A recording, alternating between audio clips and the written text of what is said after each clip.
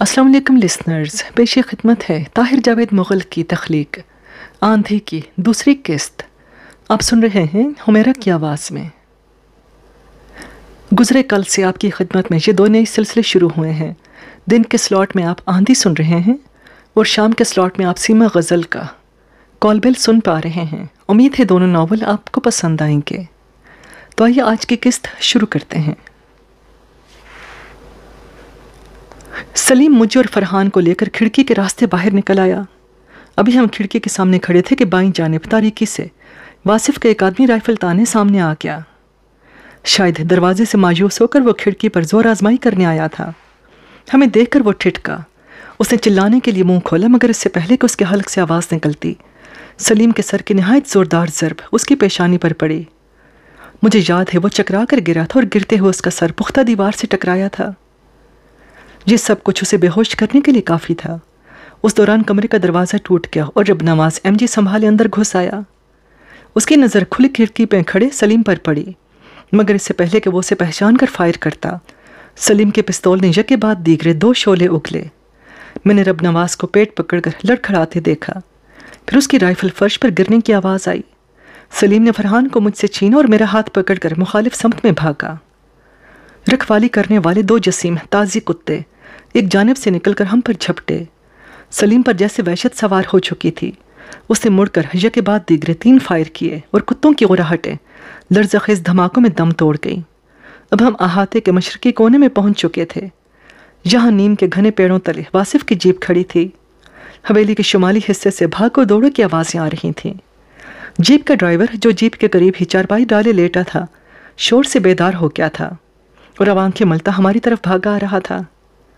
क्या हुआ? उसने सलीम से पूछा। न जाने सलीम ने ऐसी सूरत हाल के लिए पहले से सोच विचार कर रखी थी, जब उसके जहन ने फौरी तौर पर काम किया। वो बोला, खान मोहम्मद, जल्दी करो, जीप निकालो। ज़मींदार शहाब के आदमियों ने हमला कर दिया है। चौधरी जी मारे गए हैं। वो बेगम जी और बच्चे को भी ज़िंदा नहीं छोड़ेंगे। उन दिनों एक करीबी ज़मींदार, शहाब के कुछ ख़तरनाक पालतू आदमी जेल से मफरूर थे। और हवेली में ख़तरा ज़ाहिर किया जा रहा था कि वो पुरानी दुश्मनी चुकाने के लिए चौधरी साहिब के घराने को नुकसान पहुँचाने की कोशिश करेंगे। ड्राइवर ने नीम गनूदगी और नीम बेदारी के आलम में जो ज़मींदार शहाब का नाम सुना तो उसके आसान ख़ता हो गए। वो हमसे भी पहले जीप में आ बैठा, फ़ौरन इंजन स्टार्ट कर दिया। सलीम ने मुझे और फरहान को पीछे बिठाया और ख़ुद ड्राइवर के साथ वाली सीट संभाल ली। जीप तूफ़ानी रफ्तार से हवेली के बैरूनी गेट की तरफ़ बढ़ी। गेट पर मौजूद मुसल्ह पहरेदार भी रिहायशी हिस्से में फायरिंग की आवाज़ें सुन चुके थे। जीप को देखकर वो उसके सामने आ गए। ड्राइवर कड़क कर बोला, तुम यहाँ खड़े हो? उधर शहाब के आदमियों ने हमला करके चौधरी साहिब को मार डाला है। दोनों पहरेदार राइफलें थामे रिहायशी हिस्से की तरफ़ भागे। उस दौरान सलीम उतर कर गेट खोल चुका था। जीप गेट से निकली और हमें लेकर आंधी की तरह बड़ी सड़क की तरफ़ बढ़ने लगी। बड़ी सड़क पर पहुँचने से पहले ही सलीम ने ड्राइवर से छुटकारा हासिल कर लिया। वैसे भी अब वो खौफ और हनुदगी के असर से निकल कर सोच विचार में मसरूफ़ हो गया था। हम उसकी नज़रों में अनकरीब मशकूक ठहरने वाले थे। सलीम ने उसे एक जगह जीप रोकने के लिए कहा। उसने जीप रोकी तो सलीम ने पिस्तौल से पूरे ज़ोर से उसके सर पर ज़रब लगाई। वो बेहोश तो नहीं हुआ, लेकिन निढाल होकर एक तरफ़ लुढ़क गया। सलीम उसे उठाकर दरख्तों में ले गया और उसकी शलवार के आज़ार बंद से उसकी मशकें कसकर वापस आ गया। यहाँ हमने अपनी हालत का भी जायज़ा लिया। गोली मेरे कंधे का गोश्त चीरती हुई गुजर गई थी। जख्म से मुसलसल खून बह रहा था। सलीम ने अपना साफा फाड़ कर पट्टी बांधी, जिससे खून का अखराज कम हो गया। मेरी कमीज़ जगह जगह से फट चुकी थी। उसका हल मैंने यह निकाला कि ड्राइवर की एक गर्म चादर, जो डैशबोर्ड के खाने में पड़ी थी, देहाती औरतों के अंदाज में जिस्म और सर पर लपेट ली। नन्हे फरहान की हालत भी काबिल तर्स थी। गजबनाक बाप के हाथों मासूम बेटे के कपड़े भी सलामत नहीं रहे थे। उसके कुर्ते की एक आस्तीन गायब थी। गरीबान धज्जियों की सूरत अख्तियार कर गया था। वो बिलक बिलक कर रो रहा था। खींचा तानी में उसकी कोहनी का जोड़ उखड़ गया था। मैंने उसे भी अपनी चादर में छुपा लिया। हवा में काफ़ी खुनकी थी और ओस से हमारे जिस्म भीग रहे थे। हमारी खुशकिस्मती ये थी कि उस रोज़ हवेली में जीप के अलावा और कोई गाड़ी मौजूद नहीं थी, वरना हम अपना ताकुब करने वालों को जुल देकर इतनी दूर तक ना आ सकते। अब मसला ये था कि किधर का रुख इख्तियार किया जाए। इस पूरे इलाके में जागीरदारों का तसल्लुत था और यहाँ महफूज पनाह का तलाश करना बेवकूफ़ी थी। बेहतर यही था कि हम किसी तरह यहाँ से निकलकर झंग पहुँच जाएँ और वहाँ रुके बगैर फैसलाबाद का रुख कर लें। जीप में इतना पेट्रोल मौजूद था कि हम झंग तक पहुँच सकते थे। जंग के मजफ़ात में किसी वीरान जगह जीप छोड़कर हम बस पर सवार हो सकते थे। हतमी फैसला करने के बाद सलीम तेज़ रफ्तारी से ऊँचे नीचे रास्तों पर आगे बढ़ने लगा। उस वक्त हम झंग से कोई पंद्रह मील दूर एक दुशवार गुजार रास्ते से गुजर रहे थे, जब अचानक जीप का इंजन बंद हो गया। सलीम ने नीचे उतरकर किल पुर्जे चेक किए। बहुत देर तक सेल्फ मारता रहा, मगर गाड़ी स्टार्ट नहीं हुई। ये एक तशवीशनाक सूरत हाल थी। जागीरदारों के आदमी किसी भी वक्त हमारी बू सूंघते हुए पहुँच सकते थे।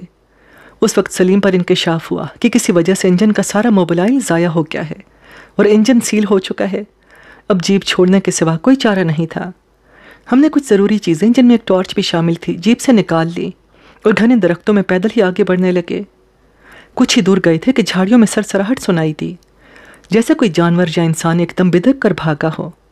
हम दोनों ठिठक गए। सलीम ने अपनी डुब में से पिस्तौल निकाला और आवाज़ के पीछे लपका।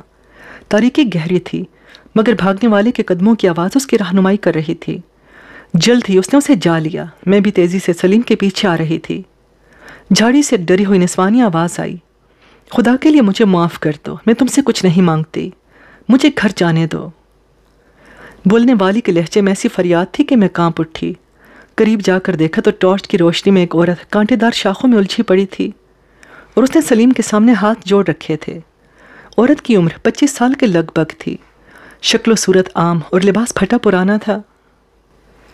सर्दी और खौफ से वो बेहाल थी। औरत दूसरी औरत का दुख बहुत जल्द समझ लेती है। उस औरत को देखते ही मेरा पूरा जिस्म सनसना उठा मेरे दिल ने पुकार कर कहा कि इस बदनसीब के साथ थोड़ी देर पहले किसी मर्द की तरफ़ से नहायत नारवाज सलूक हो चुका है।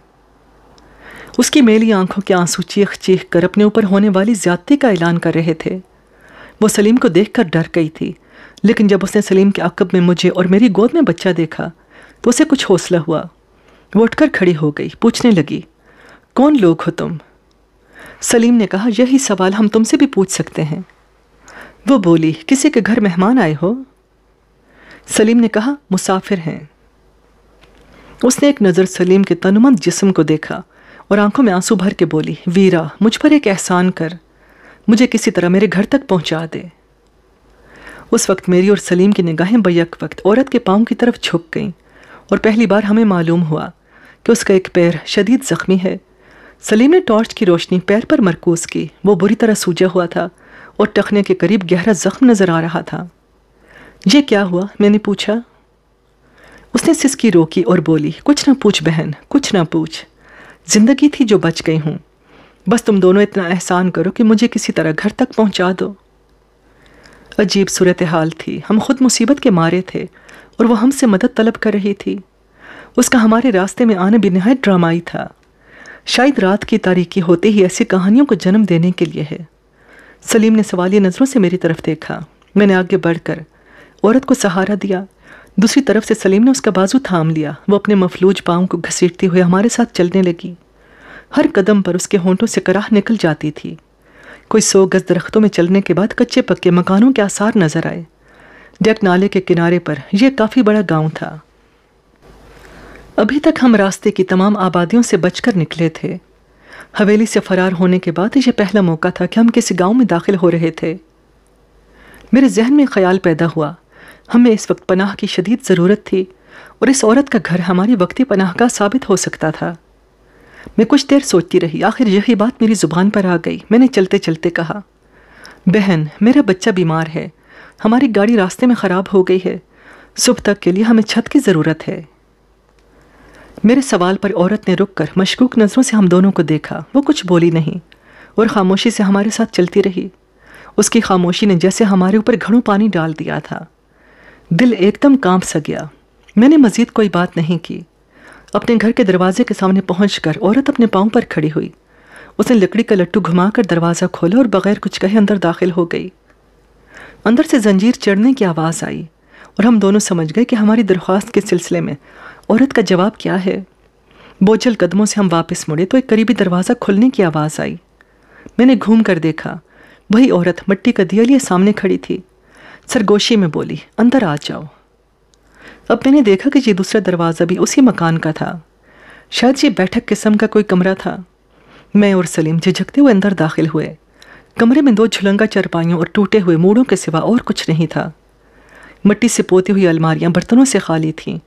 और अनाज रखने वाली मिट्टी की बड़ी सी नांद में खाक उड़ रही थी। हमारे अंदर दाखिल होते ही औरत ने दरवाज़ा अंदर से बंद कर लिया। दिए की रोशनी में मैंने गौर से उसका चेहरा देखा।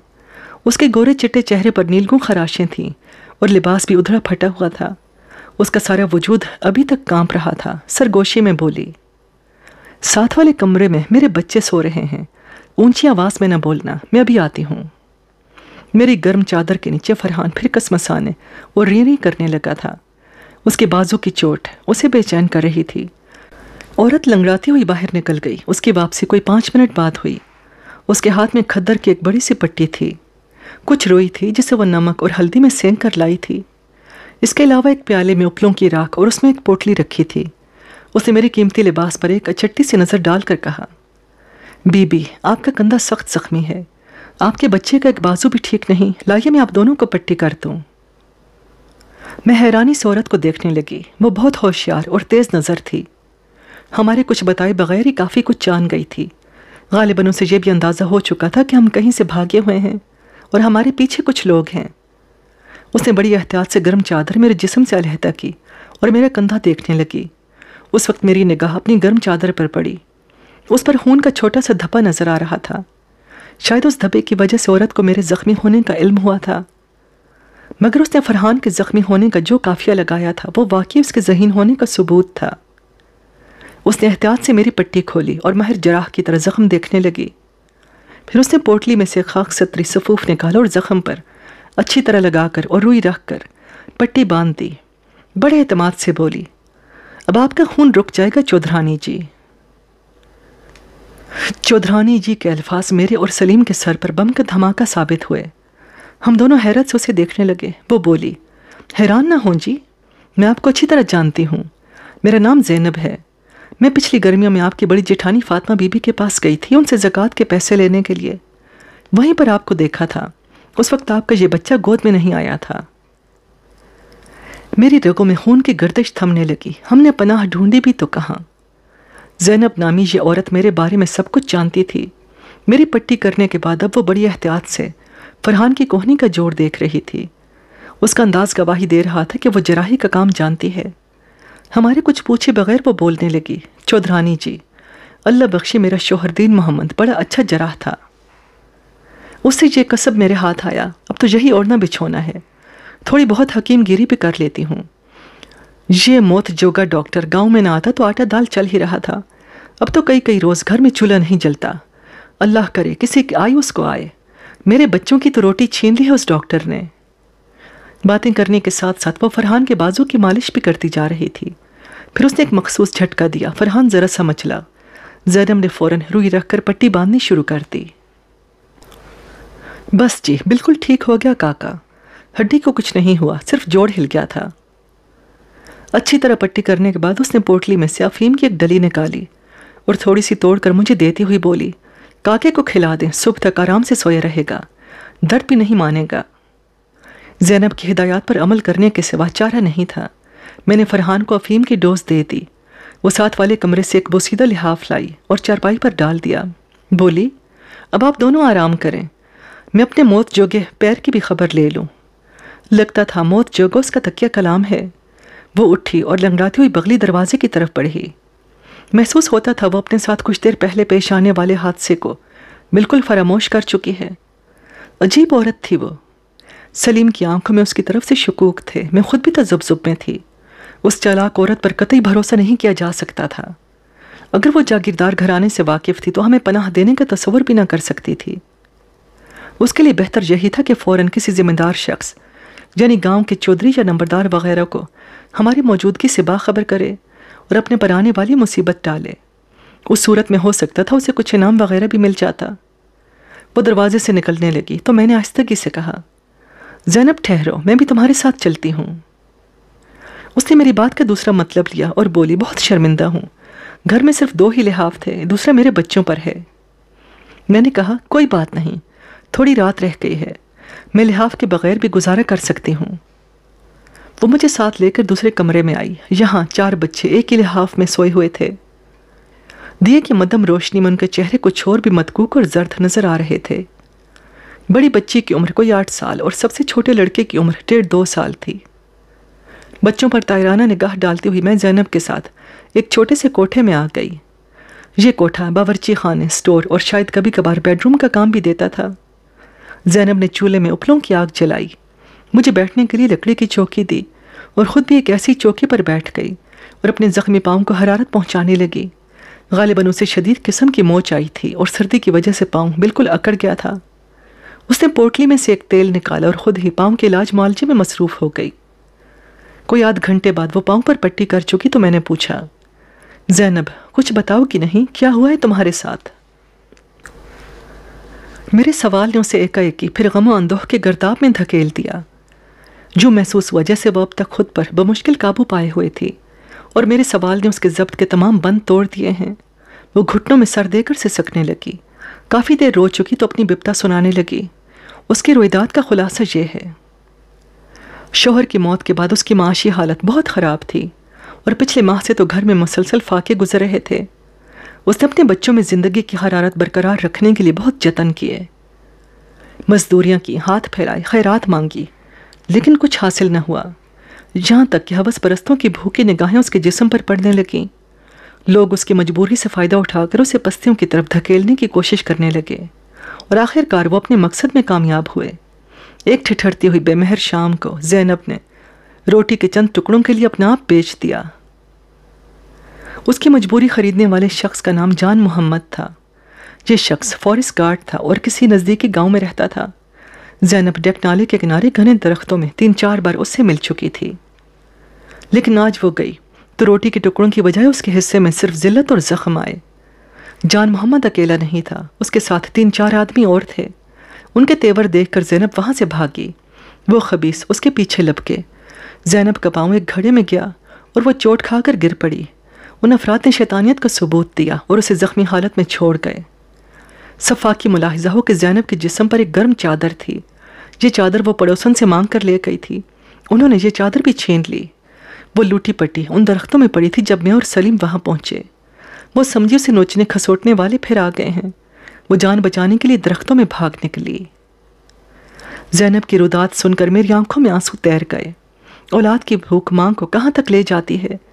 ये कोई औरत ही जान सकती है। मैं भी चंद घंटे पहले औलाद की खातिर एक क़यामत अपने ऊपर झेल चुकी थी। एक तरह हम दोनों का दुख मुश्तरक था। पिछली रात की ठिठरी हुई सर्दी में उस चूल्हे के सामने बैठकर मेरे और जैनब के दरमियान तादेर गुफ्तगु हुई। मैं ये जानकर हैरान रह गई कि जैनब है मेरे बताए बगैर ही, मेरे बारे में सब कुछ समझ रही है। वो जानती थी कि मैं जागीरदार के जुल्म से घबरा कर उसकी हवेली छोड़ आई हूँ और मेरा साथी मेरे मैके से ताल्लुक़ रखने वाला कोई हमदर्द है। वो मामला फहम औरत थी। उसने कहा, छोटी चौधरानी जी, आखिर ये सब कुछ होना ही था। अगर ना होता तो आप भी ना होती। वो औरत खौर हवेली है। आप जैसी न जाने कितनी चौधरानियाँ उस मकबरे में दफन हो चुकी हैं। मेरा दादा बताया करता था कि अचानक गली से कुछ आवाज़ें आईं और जैनब ठिठक कर खामोश हो गई। मैंने भी गौर से सुना, यूँ महसूस हुआ जैसे दस पंद्रह घुड़सवार भागते गली से गुजरे हों। जैनब ने मुझे चुप रहने का इशारा किया। एक लकड़ी टेकती हुई दरवाजे की तरफ़ गई। अब सुबह होने वाली थी और रात की स्याही में दिन का उजाला झलकने लगा था। जैनब बैरूनी दरवाजे से बाहर निकल गई तो मैं भागती हुई सलीम के पास पहुँची। लिहाफ उसके कंधों पर था। वो दरवाजे के पास खड़ा, बाहर से आने वाली आवाज़ों पर गौर कर रहा था। अंदाज़ा होता था कि घुड़सवार गली में इधर उधर भाग रहे हैं। मुख्तलिफ़ घरों के दरवाजे भी खटखटाए जा रहे थे। गाहे गाहे कोई ऊँची आवाज़ भी सुनाई दे जाती थी। मेरा खून रगों में जमने लगा। आसार अच्छे नहीं थे, मैंने सलीम से कहा। जैनब बाहर जा चुकी है, कहीं वो कोई गड़बड़ ना कर दे। सलीम ने कमरे से निकलकर बाहर के दरवाजे को अंदर से कुंडी चढ़ा दी। मुझसे बोला, सना, तुम फरहान को लेकर छत पर चली जाओ। मकान की छतें मिली हुई हैं। कोई ऐसी वैसी बात हुई तो हम किसी दूसरे मकान में उतर जाएँगे। फ़िलहाल मैं यहाँ खड़ा होकर सुनगुन लेता हूँ। सलीम की तजवीज़ माकूल थी। मैं फरहान को लेकर सीढ़ियों के बालाई सिरे पर जा बैठी। गली से आवाज़ें मुसलसल आ रही थीं। ये तकलीफ़ दे सिलसिला कोई आध घंटे बाद ख़त्म हुआ। दरवाजे पर दस्तक हुई। सलीम ने कवाड़ खोले और जैनब घबराई हुई, अंदर आ गई। उसे तनहा देख कर मैं भी सीढ़ियों से उतर आई। वो बोली, चौधरानी जी, खुदा का लाख शुक्र करें, आपकी और हम सब की जान बच गई। ये जागीरदार के आदमी थे। डेक नाले के किनारे उन्हें आपकी ख़राब गाड़ी मिली है। उनका ख्याल है कि आप दोनों इस गाँव में आए हैं। वो तो खुदा का शुक्र है, उनके साथ कोई खुरा उठाने वाला नहीं था। वरना वो सीधे मेरे दरवाजे तक आ जाते। मगर अभी भी ख़तरा पूरी तरह टला नहीं। वो आगे गए हैं। हो सकता है दोबारा आए। कुछ सोचकर मैंने अपनी एक तलाई चूड़ी उतारी और जैनब को थमाते हुए कहा, जैनब, जहाँ इतना एहसान किया है, थोड़ा सा और कर दो। किसी तरह इस चूड़ी को फ़रोख्त करवा कर कुछ पैसों का इंतज़ाम कर दो। हम चाहते हैं कि आज अंधेरा होते ही तुम्हारे घर से निकल जाएँ। जैनब सोच में पड़ गई। शायद सोच रही थी कि ये कीमती चूड़ी लेकर किसके पास जाए। फिर उसके जहन में कोई बात आई। बोली, ठीक है, मैं अपने भाई को बुलवाती हूँ। वो कुछ ना कुछ ज़रूर करेगा। सलीम ने कहा, इसके अलावा हमें दो जोड़े कपड़े की भी ज़रूरत है। जैनब बोली, एक जिनाना जोड़ा तो मेरे पास है, और चौधरानी जी को ठीक भी आएगा। मर्दाने जोड़े का मसला है, अभी दिन चढ़ता है तो पड़ोसन से बात करती हूँ। मैंने कहा, जैनब तुम समझदार हो, तुम्हें कुछ बताने की ज़रूरत नहीं, फिर भी जो कुछ करना एहतियात से करना। सलीम ने कहा, तुम्हारे घर में हावन दस्ता तो है। चूड़ी भाई को देने से पहले उसमें अच्छी तरह कूट लेना। वो बोली, आप फ़िक्र न करें मैं सब कुछ समझ रही हूँ। उसने मुझे और नीलम को घर की पिछली कोठरी में बंद करके बाहर से ताला लगा दिया और हिदायत की कि कोई आवाज़ ना निकाले और बेहतर है कि बच्चे को मुसलसल सोता रखें। वो नहीं चाहती थी कि उसके बच्चों को भी हमारी मौजूदगी का पता चले। दोपहर एक बजे आकर उसने हमें कपड़ों के दो जोड़े दिए और बताया कि उसका भाई चूड़ी लेकर झंग गया हुआ है और शाम से पहले पहले वापस आ जाएगा। वो हमारे लिए खाना भी लेकर आई थी जिसमें साग, तंदूरी रोटी, चाटी की लस्सी और अचार शामिल थे। पता नहीं बेचारी ने यह इंतज़ाम कैसे किया था। हम दोनों जैनब के लिए दिल में बहुत एहसान मंदी महसूस कर रहे थे। और उसका एहसान चुकाने का तरीका यह था कि जाने से पहले उसकी माली मदद की जाए। मेरे जिस्म पर कुछ नहीं तो तीस पैंतीस हज़ार का जेवर मौजूद था। और मैं इस काबिल थी कि उसकी मदद कर सकूँ। शाम से ज़रा पहले उसने दो तोले सोने की कीमत, जो उस वक्त चार हज़ार रुपये थी, लाकर मेरे हाथ में रख दी। ताहम इसके साथ ही वो एक बुरी खबर भी लेकर आई थी। उसने एक मुड़ा तुड़ा अखबार हमारे सामने फैला दिया। ये अखबार उसके भाई ने शहर से ख़रीदा था। अखबार के पिछले सफ़े पर मेरी और सलीम की तस्वीर के साथ ये सनसनीखेज खबर मौजूद थी। बीवी ने आशना के साथ मिलकर शोहर को कत्ल कर दिया। तफसीलात में दर्ज था जागीदार वासिफ चंगेज़ी को कल उनकी बीवी सना ने अपने आशना सलीम के साथ मिलकर मौत के घाट उतार दिया। वासिफ चंगेज़ी पर अकब से गोली चलाई गई। जो उनकी गर्दन को चीर कर दिमाग में पहुँच गई, वो मौका पर ही हलाक हो गए। उनके मुसलम हाफिज रब नवाज़ को शदीद ज़ख्मी हालत में हस्पताल पहुँचाया गया है। हवेली के दो और मुलाजिम, जिनमें वासिफ चंगेज़ी का ड्राइवर भी शामिल है, मामूली ज़ख्मी हुए हैं। मुजरमों की तलाश में पुलिस सरगर्मी से छापे मार रही है। ये खबर मुझ पर सख्ता तारी करने के लिए काफ़ी थी। मेरे बदतरीन खदशात हकीकत का रूप धार चुके थे। मैं, जो एक चूंटी की जान लेने का हौसला भी नहीं रखती थी, आज एक कातिला थी, और मुझ पर अपने शोहर को कत्ल करने का इल्ज़ाम था। कितनी ही देर हम दोनों एक दूसरे से कोई बात ना कर सके, जहनों में हलचल सी मची हुई थी सूरत हाल संगीन तर हो गई थी। इस खबर का मतलब ये था कि जागीरदारों के पालतू गुंडे ही नहीं, पुलिस भी हमें सरगर्मी से तलाश करती फिर रही है। अखबारों में हमारी तस्वीरें शाया हो चुकी थीं, और अब इस चार दीवारी से बाहर हमारे लिए ख़तरात ही ख़तरात थे। जैनब भी उस सूरत हाल को समझ रही थी। एक औरत होने के बावजूद वह अब तक नहायत हौसले और जुरत से हमारा साथ दे रही थी। वो मासूम बच्चों की माँ थी। हमारी वजह से उस पर भी मुसीबतों के पहाड़ टूट सकते थे। मगर वो सब कुछ जानते हुए भी हमें तहफ़ दे रही थी। उसने कहा, चौधरानी जी, फ़िलहाल जहाँ से जाने का ख्याल दिल से निकाल दें। इस मौत जोगी अखबार ने आपको हर तरफ़ नशर कर दिया है। आप पर इल्ज़ाम भी बड़े सख्त लगाए गए हैं। ये सारा मामला ज़रा ठंडा हो लेने दें, फिर यहाँ से निकलें। मैं अपने दोनों बड़े बच्चों को भी आपके बारे में बता देती हूँ। मुझे यकीन है कि वह बाहर बात नहीं करेंगे। बस आप ये कोशिश करें कि काका ज़्यादा रोए ना। जैनब दरवाजे को बाहर से ताला लगाकर चली गई। और हम दिए की मध्यम रोशनी में अपनी अपनी सोचों से जंग करने लगे। और वहीं पर मुझसे वो गलती हुई जो नहीं होनी चाहिए थी। शायद उस गलती की वजह यह थी कि मैं सलीम के मिजाज से पूरी तरह आगाह नहीं थी। मुझे उस आतिश फिशां की खबर नहीं थी जो उसके सीने की गहराई में हर वक्त देखता रहता था, और जिसे जगाने के लिए सिर्फ़ एक इशारे की ज़रूरत होती थी। मैं चूँकि उस वक्त खुद भी सदमे से दो चार थी, इसलिए मैंने सलीम को उस गुफ्तगु के बारे में बता दिया, जो चंद हफ़्ते पहले वासिफ चंगेज़ी और मैडम नादरा के दरमियान हुई थी। मैंने सलीम पर वाजे कर दिया कि मेरी और उसकी बर्बादियों की असल जड़ मैडम नादरा ही है। यही वो औरत है जिसने पुरानी अदावत की वजह से बदनीयती का मुजाहरा किया। और मुझे वासिफ चंगेजी की बीवी बनाकर हवेली के जहन्नुम में धकेल दिया। और यही वो औरत है जो अब एक गहरी साजिश के तहत वासिफ को उसके खिलाफ भड़का रही थी। मैंने कहा, सलीम, इसलिए मैं तुम्हें बार बार हवेली से चले जाने का मशवरा देती थी। मुझे मालूम था वो बदजात मेरी ज़िंदगी तो बर्बाद कर ही चुकी है। अब तुम्हें भी जागीरदारों के हाथों कत्ल करवा देगी। उसके दिल में तुम्हारी दुश्मनी की जड़ें बहुत गहरी उतरी हुई हैं। वह हर पल तुम्हारी खबर रखती थी। उसे यहाँ तक मालूम था कि तुमने जेल से रहा होने के बाद एक पिस्तौल खरीदा है और अब ये पिस्तौल वासिफ के खिलाफ काम आएगा। मैं रोती रही और सलीम के सामने अपने दिल के फफोले फोड़ती रही। वो खामोशी से सुनता रहा। उसके सुनने का अंदाज बता रहा था कि मेरी बातों से उसके बहुत से अंदेशे दुरुस्त साबित हो गए हैं। यह उससे अगली रात का वाक्य है, कोई ग्यारह बारह का वक्त होगा। दौरान नींद कंधे से उठने वाली टीस ने मुझे जगा दिया।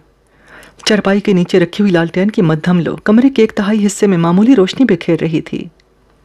ये लालटेन कुछ दीगर सौदा सल्फ के साथ जैनब आज ही बाज़ार से खरीद कर लाई थी। मैंने हंसब आदत सर उठाकर देखा, फरहान गहरी नींद सो रहा था। अचानक मेरी निगाह सलीम की तरफ़ उठ गई। वो मेरी तरफ़ पुष्ट किए खड़ा था। उसके पाँव में चप्पल थी और कंधे से गोलियों की पट्टी लटक रही थी। वो कहीं जाने के लिए तैयार नज़र आता था। और शायद चंद लम्हे। मजीद अगर मेरी आँख ना खुलती तो वो खिड़की के रास्ते बाहर निकल चुका होता। मैं चौंक कर उठ बैठी। कहाँ जा रहे हो सलीम? उसने मुड़कर मेरी तरफ़ देखा। खुदा की पनाह। मैं सरतापा लरस गई। उसकी आँखें किसी दरिंदे की तरह रोशन थीं। वो बिल्कुल एक बदला हुआ आदमी नज़र आ रहा था। मुझे लगा जैसे मैं उसे पहली बार देख रही हूँ। उसके चेहरे की एक एक रक्त तनी हुई थी। मैंने हौसला करके फिर पूछा, कहाँ जा रहे हो सलीम? वो अजीब आवाज़ में फुनकारा, एक काम से जा रहा हूँ। कल रात बारह बजे से पहले आ जाऊँगा। ऐसा भी क्या ज़रूरी काम है? तुम्हें मालूम है यहाँ से निकलना किस कदर खतरनाक है। बहस मत करो, मुझे सब मालूम है। क्या काम है? मुझे नहीं बताओगे? इस वक्त नहीं बता सकता। लेकिन मैं बता सकती हूँ। मैंने सनसनीखेज लहजे में कहा, तुम तुम लाहौर जा रहे हो। मैडम नादरा को कत्ल करने के लिए। मैंने उसके दिल की बात कही थी और ये वो बात थी जो उसका कलेजा हिला सकती थी। लेकिन वो टस से मस्त नहीं हुआ, जैसे उसने मेरी बात सुनी ही ना हो। मैंने उसे झंझोड़ कर सरगोशी की, बताओ बताओ क्या मैं गलत कह रही हूँ? वो किसी दरिंदे की तरह गुर्राया, ठीक कह रहे हो, तुम्हारी ज़िंदगी बर्बाद करने के बाद उस औरत को अब जीने का कोई हक नहीं। न जाने मेरे अंदर इतना हौसला कहाँ से आ गया मैं चंद लम्हे उसकी अंगारा आँखों में झांकती रही। फिर एक अजीब एतमाद के सहारे मैंने नहायत तहकुमाना लहजे में कहा, नहीं सलीम, तुम कहीं नहीं जाओगे। हम इस आग में और नहीं खेलेंगे। हम खामोशी से किसी जानब निकल जाएँगे। हमें किसी से इंतकाम नहीं लेना। ये नहीं होगा सना। वो औरत आज रात की सुबह नहीं देखेगी। ये मेरा आखिरी फैसला है। फिर मेरा आखिरी फैसला भी सुन लो। इस घड़ी के बाद तुम मेरी सूरत कभी नहीं देखोगे। मुझे अब किसी की परवाह नहीं। वो जैसे गजब में दीवाना हो चुका था। उसने झटके से अपना बाजू छुड़ाया और खिड़की की तरफ़ बढ़ा। मैंने लपक कर उसका कुर्ता खींच लिया। नहीं सलीम, मैं तुझे नहीं जाने दूँगी। वो खुद को छुड़ाने की कोशिश करने लगा। कमरे के मुख्तसर रकबे में हम दोनों के दरमियान ज़बरदस्त कश्मकश शुरू हो गई। शर्म हया को बालाई ताक रख कर मैं पूरी जिस्मानी कुवत से उसे रोकने की कोशिश कर रही थी। और वो मेरे हाथों से निकल निकल रहा था। उसकी कमीज़ फट गई थी और मेरे बाजुओं पर भी खराशियाँ आ रही थीं। ताहम ये सारी जद्दोजहद खामोश थी। हमारे दरमियान जिन तेज़ फिक्रों का तबादला हो रहा था, वो भी सरगोशियों में थे। सलीम की पूरी कोशिश थी कि वो किसी तरह मुझे झटक कर खिड़की तक पहुँच जाए और उसे खोल कर बाहर निकल जाए। मुझमें न जाने इतनी ताकत कहाँ से आ गई थी कि मैं अभी तक उसकी मजामत कर रही थी। मेरी कामयाबी की एक वजह यह भी थी कि सलीम का अंदाज दिफाई था। वो मुझे कोई ज़रब लगाना नहीं चाहता था। वरना उस जैसे ताकतवर और मुश्तल मर्द का एक ही थप्पड़ मुझे होशो हवा से बेगाना कर सकता था। उस कश्मकश का अंजाम सलीम की पसपाई पर हुआ। अचानक उसने हिम्मत हार दी। यक उसने अपने सर को झटका दिया और एक खौफनाक टक्कर मिट्टी की दीवार पर पड़ी। पूरा कमरा जैसे हिलकर रह गया। फिर यके बाद दिगरे वो दीवार से टकरे मारने लगा। शायद आप इसे मुबालगा समझें। सलीम के सर के ज़रबों से यूँ महसूस हो रहा था जैसे पूरा कमरा धड़ाम से हमारे ऊपर आ गिरेगा। उसके सर में कोई अजीब सी कुवत पोशीदा थी। मेरी निगाहों में वो मंजर घूम गया जब उसने हमारे घर के सामने कासिम आवान और बिरादरान को टकरे मार मार कर उनका भरकस निकाल दिया था। फिर हवेली में जिस तरह लकड़ी की खिड़की तोड़ी थी, वो मंजर मरते दम तक मेरी आँखों में नक्श रहेगा। बड़ा ड्रामाई मंजर था वो। मैंने सलीम के बाल खींच कर उसे बमुश्किल उस पागलपन से रोका। धम धम की आवाज़ें सुनकर जैनब कमरे के दरवाजे पर पहुँच गई। उसने हल्की सी मखसूस दस्तक दी। सलीम अब माथा ज़मीन पर टेके, हिचकियों से रो रहा था। उसका रवैया मेरी समझ से बाहर था। यूँ महसूस होता था जैसे कोई खौफनाक तरीन तूफ़ान चढ़कर उतर गया हो। मैंने दरवाजे के पास जाकर जैनब को बताया कि फ़िक्र की कोई बात नहीं। वो जाकर सो जाए। जैनब चली गई तो मैं सलीम के पास ही ज़मीन पर बैठ गई। उस घड़ी वो मुझे एक रूठा हुआ बच्चा महसूस हुआ। एक अजीब जज्बे के तहत मैंने उसका खुरदरा हाथ अपने हाथ में ले लिया। और धीरे धीरे उसे समझाने लगी। हम दोनों के दरमियान वो अब तक एक तवील तरीन गुफ्तगु थी। मुख्तसर अल्फाज में यूँ समझ लें कि हमने उस रात अपने आइंदा दिनों की मनसूबा बंदी की। मैंने सलीम पर यह बात खोल दी कि मेरे लिए सबसे मुकदम चीज़ अपने बच्चे की सलामती है। बाकी सब कुछ उसके बाद आता है। मैं अपने बच्चे को हालात के साग से बचा कर कहीं दूर ले जाना चाहती हूँ। और यह उसी सूरत में हो सकता है कि जब हम तीनों अपने माजी से हर नाता तोड़ लें।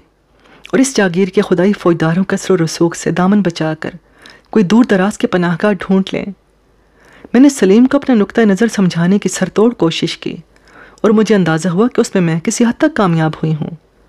मैंने तजवीज़ पेश की कि हम दोनों कराची निकल जाएँ और वहाँ फ़र्जी मियाँ बीवी की हैसियत से कम अज़ कम दो बरस नहायत खामोशी से गुजारें। मेरे पास जो जेवर है वो हमारी ज़रूरियात पूरी कर सकता है। अगर कोई सबब पैदा हुआ तो छोटा मोटा कारोबार भी किया जा सकता है। इस दौरान हम ये फैसला कर लेंगे कि आइंदा ज़िंदगी हमने कैसे गुजारनी है।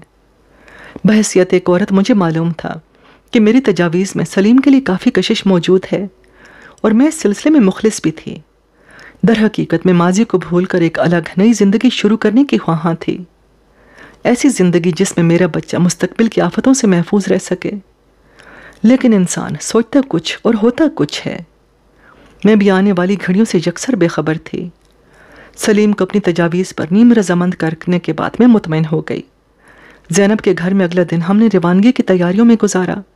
फैसला हुआ कि कल सुबह तीन चार बजे हम पक्की सड़क की तरफ़ रवाना होंगे और छः बजे वाली पहली बस के ज़रिए झंग पहुँच जाएँगे।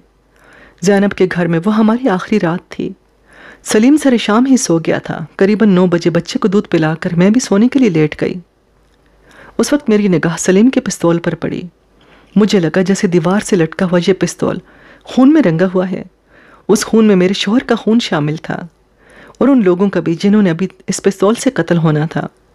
मुझे उस खूनी हथियार से शदीद खौफ महसूस हुआ। यह हथियार सलीम को और उसके साथ मुझे भी संगीन तरीन मुजरमों के सफ़ में खड़ा कर सकता था। गैर इरादी तौर पर मेरे हाथ उस पिस्तौल की तरफ़ बढ़ गए। मैंने उसे होल्स्टर से निकाला। सोए हुए सलीम पर एक निगाह डाली और बास्तगी खिड़की के पास पहुँच गई। खिड़की खोलकर मैंने बाहर झांका। मेरे सामने दस पंद्रह फुट चौड़ी गली थी और गली के दूसरे किनारे पर काई जमी जोहड़ की सतह थी। उस जोहड़ में सारा दिन गाँव की बतखें कैं कैं करती रहती थीं। उस वक्त हर सूठी ठरती हुई खामोशी तारी थी। लिहाजा जब मैंने पिस्तौल उछाल कर जोहड़ में फेंका तो पानी में छपाके की आवाज़ दूर तक गई। मैंने खिड़की बंद की और वापस आकर इतमान से लिहाफ में लेट गई। सोने से पहले मैंने अपनी दो तलाई चूड़ियाँ उतारी और तकिए के नीचे रख दी। मैं चाहती थी ये चूड़ियाँ जैनब को मेरे जाने के बाद मिले। ये चूड़ियाँ मेरी तरफ़ से उन कोशिशों का एतराफ़ था जो जैनब ने अपनी और अपने बच्चों की जान खतरे में डालकर हमारे लिए की थी। ख्यालों के ताने बाने बुनते न जाने किस घड़ी आँख लग गई। दोबारा आँख खुली तो एक नामानूस शोर फैला हुआ था। मैं और सलीम साथ साथ ही उठे थे। सहन में चीखों पुकार की आवाज़ें आ रही थीं। फिर खौफनाक धमाके सुनाई दिए। और यके बाद दीगरे कई गोलियाँ आकर दरवाजे को लगीं। मैंने आहनी कुफल टूट कर नीचे गिरने की आवाज़ सुनी। तब एक कड़कदार आवाज़ सुनाई दी। किसी ने हम दोनों को मुश्तरक गाली दी और बोला, दरवाज़ा खोलकर बाहर आ जाओ, वरना अंदर ही भून कर रख देंगे। मुझे लगा जैसे अभी तक ख्वाब देख रही हूँ, लेकिन नहीं यह सब कुछ हकीकत था। सलीम ने मुझे खिड़की की तरफ़ धकेल और ख़ुद अपने होल्स्टर की तरफ़ बढ़ा। होल्स्टर खाली था, वो एक लम्हे के लिए चकरा कर रह गया। पिस्तौल कहाँ है? वो कराहा। मैं भला क्या जवाब देती? उसने जल्दी से तकिया उठाया, चरपाई के नीचे देखा। मगर वो वहाँ होता तो मिलता, वो चीखा, सना, तुम भाग जाओ। अभी उसका जुमला पूरा नहीं हुआ था कि दरवाज़ा एक धमाके से खुला और दो पिस्तौल बरदार दनदनाते हुए अंदर आ गए। अगले शख्स के पिस्तौल से शोला निकला और सलीम अपना घुटना पकड़कर दोहरा हो गया। मैंने फरहान को सीने से लगाया और चीख करे कोने में दुबक गई। तीन अफराद ने सलीम को जकड़ना चाहा तो वो पूरी वहशत के साथ उनसे भिड़ गया। मैंने दो अफराद को उसकी टकरें खा कर लड़खड़ाते देखा। तीसरे ने उसके सर पर रिवॉल्वर का दस्ता मारना चाहा, मगर उसने सर बचाकर हमलावर के सीने पर ऐसी टांग मारी कि वो उछल कर मेरे कदमों में आन गिरा। उस वक्त एक शख्स अकब से आया और उसने एक फुट लंबा छुरा, नहायत बेदर्दी से सलीम की कमर में घोंप दिया। वो कराह कर घुटनों के बल गिरा। मेरी आँखों को कुछ और देखने की ताब नहीं थी। खिड़की बुलंदी पर थी और मैं उसमें से कूद कर बाहर नहीं निकल सकती थी। निजात का वाहिद रास्ता दरवाज़ा था। मैं फरहान के साथ झुकती और लपकती हुई दरवाजे की तरफ़ गई। उससे निकलकर बरामदे में आ गई। अभी चंद कदम आगे गई थी कि किसी ने अकब से ज़ोरदार धक्का दिया। मैं ऊंधे मुँह गिरी। फरहान मेरी बाहों से निकलकर दूर तक लुढ़कता और चीखता चला गया। उस वक्त मेरी निगाह अपने देवर शुजा पर पड़ी। उसके साथ एक लंबा तड़ंगा शख्स और था। दोनों की आँखों से चिंगारियाँ फूट रही थी। मैंने उठकर बेताबाना फरहान की तरफ़ लपकना चाहा, लेकिन तीन साय बलाओं की तरह मुझ पर झपटे और मुझे जकड़ लिया। शुजा बड़े खौफनाक अंदाज में मासूम फरहान की तरफ़ बढ़ा। इससे पहले कि उसके खूनी हाथ उस बेगुनाह की गर्दन तक पहुँचते, अंधेरे से एक औरत चील की तरह झपटी और फरहान को सीने से लगाकर लंगड़ाती हुई बैरूनी दरवाजे की तरफ़ भागी। ये जैनब थी। भागने ना पाए लंबे तड़ंगे शख्स ने चिल्लाकर कहा इसके साथ ही वो मेरे देवर के साथ खुद भी बाहर को भागा। जैनब ने दरवाजे से निकलते निकलते अक्लमंदी का मुजाहरा किया था और बाहर से कुंडी लगा दी थी। उसका ताकुब करने वालों ने दरवाज़ा बंद पाया तो बौखलाहट में नाच कर रह गए। आखिर एक शख्स दीवार फांद कर बाहर गया और कुंडी खोली।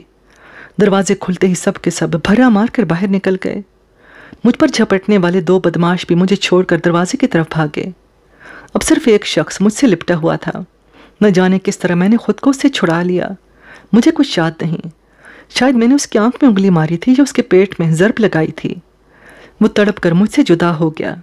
एक लम्हे की छूट गनीमत जानकर मैं उठी और दरवाजे की तरफ़ लपकी। कान हर लहसा गोली की आवाज़ पर लगे हुए थे। वो गोली जो अकब से मुझ पर चलाई जानी थी। मगर वक्त मेरा साथ दे रहा था। इससे पहले कि अकब से कोई बंदूक मेरी तरफ़ सीधी होती और कोई उंगली ट्रिगर दबाती, मैं बरूनी दरवाज़ा पार करके सामने मोंगरू के खेत में घुस चुकी थी। ये खेत घर के अंत सामने वाक़ था। अगला खेत कमात का था। ये काफ़ी ऊँचा था। उसमें घुसकर मुझे अंदाज़ा हुआ कि थोड़ी देर के लिए ही सही मैं मौत को टालने में कामयाब हो गई हूँ। मेरी जूती बरामदे में मेरे पाँव से निकल चुकी थी। दुपट्टा सहन में रह गया था? अब मैं नंगे सर और नंगे पाँव खेत में भाग रही थी। खेत के ऊँचे नीचे बट्टों पर तलवों के जख्मी होने का काफ़ी से ज़्यादा सामान मौजूद था, और मेरे तलवे जख्मी भी हो रहे थे। ताहम उस वक्त यह तकलीफ़ ना होने के बराबर थी। मैं अपने अकब में हाहाकार सुन रही थी। जागीरदार के कारिंदे फैल कर मेरे ताकुब में आ रहे थे। फिर मेरे कानों में एक और आवाज़ पड़ी। मैं सरतापा लरस गई। ये कुत्तों की आवाज़ थी। हवेली के शिकारी कुत्तों को मैं अच्छी तरह जानती थी। ऐसे ही चंद कुत्तों को हमने हवेली से फरार होते वक्त गोली मारी थी। ये ताज़ी कुत्ते ख़ास तौर पर सिधाए गए थे और मरते दम तक अपने शिकार का पीछा नहीं छोड़ते थे। एक दफ़ा मैं हवेली में उन दरिंदों की, दरिंदगी का मुजाहरा देख चुकी थी। उन्होंने हवेली की मुलाजमा के एक मासूम बच्चे को, जो गलती से कुत्तों की तरफ़ चला गया था, पलक छपकने में तिक्का बोटी कर दिया था। वो खूनी मंजर मेरे तस्वुर में आया और अपनी खटी फटी लाश मेरी निगाहों के सामने घूमने लगी। ए खुदा, मेरी मदद कर। ए मालिक, मेरी मदद कर। मैं भाग रही थी और जेरे लब पुकार रही थी। रात की ठिठरी हुई तारीकी और ऊँचे नीचे खेतों में ओसे भीगी हुई ज़मीन पर वो एक जानलेवा ताकुब था। मुझे वो सब कुछ धुंधला धुंधला याद है।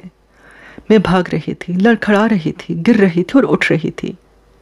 मेरे चारों तरफ़ मौत की परछाइयाँ थीं। गोलियों की आवाज़ें और गुंडों के ललकारे उस हंगामे को और भी खौफनाक बना रहे थे। पता नहीं मैं कितनी देर भागती रही, शायद दस मिनट, शायद बीस मिनट या आधा घंटा। फिर मुझे अंदाज़ा हुआ कि मौत का घेरा तंग हो रहा है। कुत्तों की आवाज़ें मुझे अपने आन अकब से सुनाई देने लगीं। बस अब कोई लम्हा जाता था कि एक अधामता गुर्राता कुत्ता मुझे अकब से दबोचने वाला था, या कोई सनसनाती गोली अंगारे की तरह मेरी पुष्ट में उतरने वाली थी। एकाएक ही पूरी रात का चाँद तारीख बदलियों की ओर से निकल आया और हर तरफ़ उजाला फैल गया। मुझे अपने सामने सिर्फ़ बीस गज की दूरी पर एक जीप खड़ी नज़र आई। ये जीप सिर्फ़ दो तीन सेकंड पहले यहाँ आकर रुकी थी। और उसके पहियों की उड़ाई हुई गर्द अभी तक फिजा में थी। मुझे देखकर चंद अफराद ने छलांगे लगाईं और मेरी तरफ़ लपके। मैं अब चारों तरफ़ से घिर चुकी थी। चकमा देकर मैंने एक चादर पोश के पहलू से गुजरना चाहा। मगर उसने झपट कर मुझे दबोच लिया। मैंने दीवाना वार खुद को उसकी गिरफ्त से छुड़ाने की कोशिश की। एक भारी आवाज़ मेरे कानों से टकराई।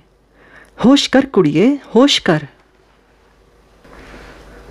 उस अजनबी आवाज़ ने मुझे पहली बार एहसास दिलाया। कि मैं अपने दुश्मनों के नरके में नहीं। ये एहसास उस वक्त यकीन में बदल गया जब ऊपर तले दो फायर सुनाई दिए। मैंने मुड़कर देखा, मुझसे सिर्फ़ दस गज की दूरी पर एक कुत्ता लोटपोट हो रहा था। यह कुत्ता जीप से किए जाने वाले फायर से जख्मी हुआ था। पलक छपकते में खेतों से कई और कुत्ते बरामद हुए। मगर मुझ तक पहुँचने से पहले उन्हें रुख बदलना पड़ा। जीप से ताबड़तोड़ हवाई फायरिंग करके उन्हें धमका दिया गया था। एक मज़बूत हाथ ने मुझे खींचकर जीप के ऊपर चढ़ा दिया। कुत्ते बुरी तरह पेचो ताप खा रहे थे। जल्द ही उनके रखवाले भी हाँपते हुए मौका पर पहुँच गए। उनके हाथों में जंजीरें थीं और तेवर इंतहाई खतरनाक नज़र आते थे। उनके अकब में तीन अदद मुसल्ह घुड़सवार थे। उनके कंधों पर आवेजा गोलियों की पेटियाँ चांदनी में चमक रही थीं। गालिबन जागीरदार के कारिंदे मेरा ताकुब टोलियों में बटकर कर रहे थे। उनमें से एक खुशकिस्मत टोली अब मेरे सामने खड़ी थी। जीप के सवारों को देखते ही मेरे ताकुब में आने वाले अपनी जगह साकित खड़े रह गए। रखवालों ने आगे बढ़कर कुत्तों को जंजीरें पहना दी और घुड़सवार घोड़ों को पुरसकून करने के लिए उनकी गर्दनें थपथपाने लगे। उस दौरान करीबी दरख्तों से कुछ और अफराद भी भागते हुए आए और जीप के पास खड़े हो गए। उनके चेहरों से ज़ाहिर था कि वह अभी तक मामले की नोयत से बेखबर हैं। ताहम उनके हाथ अपनी राइफलों पर थे और उनके बछरों से अंदाज़ा होता था कि वो उन लोगों में से हैं, जो नाम पता पूछे बगैर गोली मार देते हैं। मेरे ताकुब में आने वाले घुड़सवार और पैदल अफराद थोड़ी देर जलती नज़रों से जीप वालों की तरफ़ देखते रहे। फिर उन्होंने रुख मोड़ा और खेतों में चलते हुए ओझल हो गए। हवास ज़रा बहाल हुए तो मैंने इर्द गिर्द के माहौल पर तवज्जो दी। मैं कोई दस अदद मर्दों के नरके में थी। उनमें से एक भी ऐसा नहीं था जिसे देखकर मुझे हौसला होता। अगर उनके दिल भी उनकी सूरतों की तरह थे तो इस वीराने में और रात के इस पहर मेरे साथ कुछ भी हो सकता था। उनमें से एक शख्स जिसका कद लंबा, शाने गोल और चेहरा भरा हुआ था, मेरे सामने आन खड़ा हुआ। बड़ी बड़ी मूंछों ने उसके चेहरे को और भी खौफनाक बना रखा था। उसे तहबंद पर कढ़ाईदार कुर्ता पहन रखा था और गले में सोने का कैंठा चमक रहा था। मेरे अंदाजे के मुताबिक उसकी उम्र पैंतीस साल के लगभग थी। वो रोबदार आवाज़ में बोला, वो कुड़िए, ये लुच्चे तेरे पीछे क्यों लगे हुए थे? उसके सवाल के अंदाज से ज़ाहिर था कि वो लुच्चों के बारे में अच्छी तरह जानता है। इसका मतलब था कि वो वासिफ चंगेजी और उसके घराने के बारे में भी जानता होगा। गो हम वासिफ चंगेजी की हवेली और उसकी ज़मीनों से काफ़ी दूर आ चुके थे, मगर वासिफ कोई ऐसा वैसा आदमी नहीं था। उसे और उसके कारिंदों को पहचानने वाले दूर दूर तक मिल सकते थे। दूसरा ख्याल मेरे जहन में ये आया कि ये लोग कोई भी हैं। बहरल चंगेजी खराने से इनकी लगती है। गालिबन कोई पुरानी अदावत वगैरह है। अब मसला यह था कि मुझे अपने बारे में बताना चाहिए या नहीं। या अगर बताना चाहिए तो क्या? मुझे खामोश देखकर वो शख्स गरजा। कुड़िए मैंने तुझसे कुछ पूछा था। मेरा दिल भर आया और आँसू मैंने बमुश्किल आँखों से दूर रोक रखे थे, हिफाजती बंद तोड़कर बह निकले। मैं कोशिश के बावजूद अपनी हिचकियों पर काबू न रख सकी और मेरे रोने की सदा सन्नाटे में दूर दूर तक फैलने लगी। लो भाई, ये नया ड्रामा शुरू हो गया। कैंठे वाले शख्स ने हंसकर कहा इतने में दूर खड़े एक शख्स पुकार कर बोला, चौधरी जी, चकोरा डिगन लग पे याने. यक यक तमाम अफराद में सनसनी फैल गई। एक ही लम्हे में उन्होंने मुझे फरामोश कर दिया और उस वाक्य को भी जो चंद मिनट पहले यहाँ रूनमा हो चुका था। चौधरी ने पुकार कर अपने कारिंदे को हुक्म दिया, इस कुड़ी को चढ़ाओ जीप में और उस कुत्ते को भी रख कर ले आओ। उसका इशारा उस कुत्ते की तरफ़ था जो ज़रा देर पहले तड़प तड़प कर ठंडा हुआ था। एक शख्स ने मुझे दोबारा जीप में चढ़ने का हुक्म दिया। एक दूसरे उजट से शख्स ने मुर्दा कुत्ते को पिछली टांगों से पकड़कर खटाक से जीप के फर्श पर दे मारा। जीप स्टार्ट हो गई और मोड़ काट कर नहायत तेज़ी से दरख्तों की तरफ़ बढ़ी। जहाँ मैंने एक अजीब मंजर देखा, कई अफराद टॉर्चें लिए दरख्तों के दरमियान घूम रहे थे। कभी कभी धप की आवाज़ आती और कोई परिंदा किसी दरख्त से ज़मीन पर आ गिरता।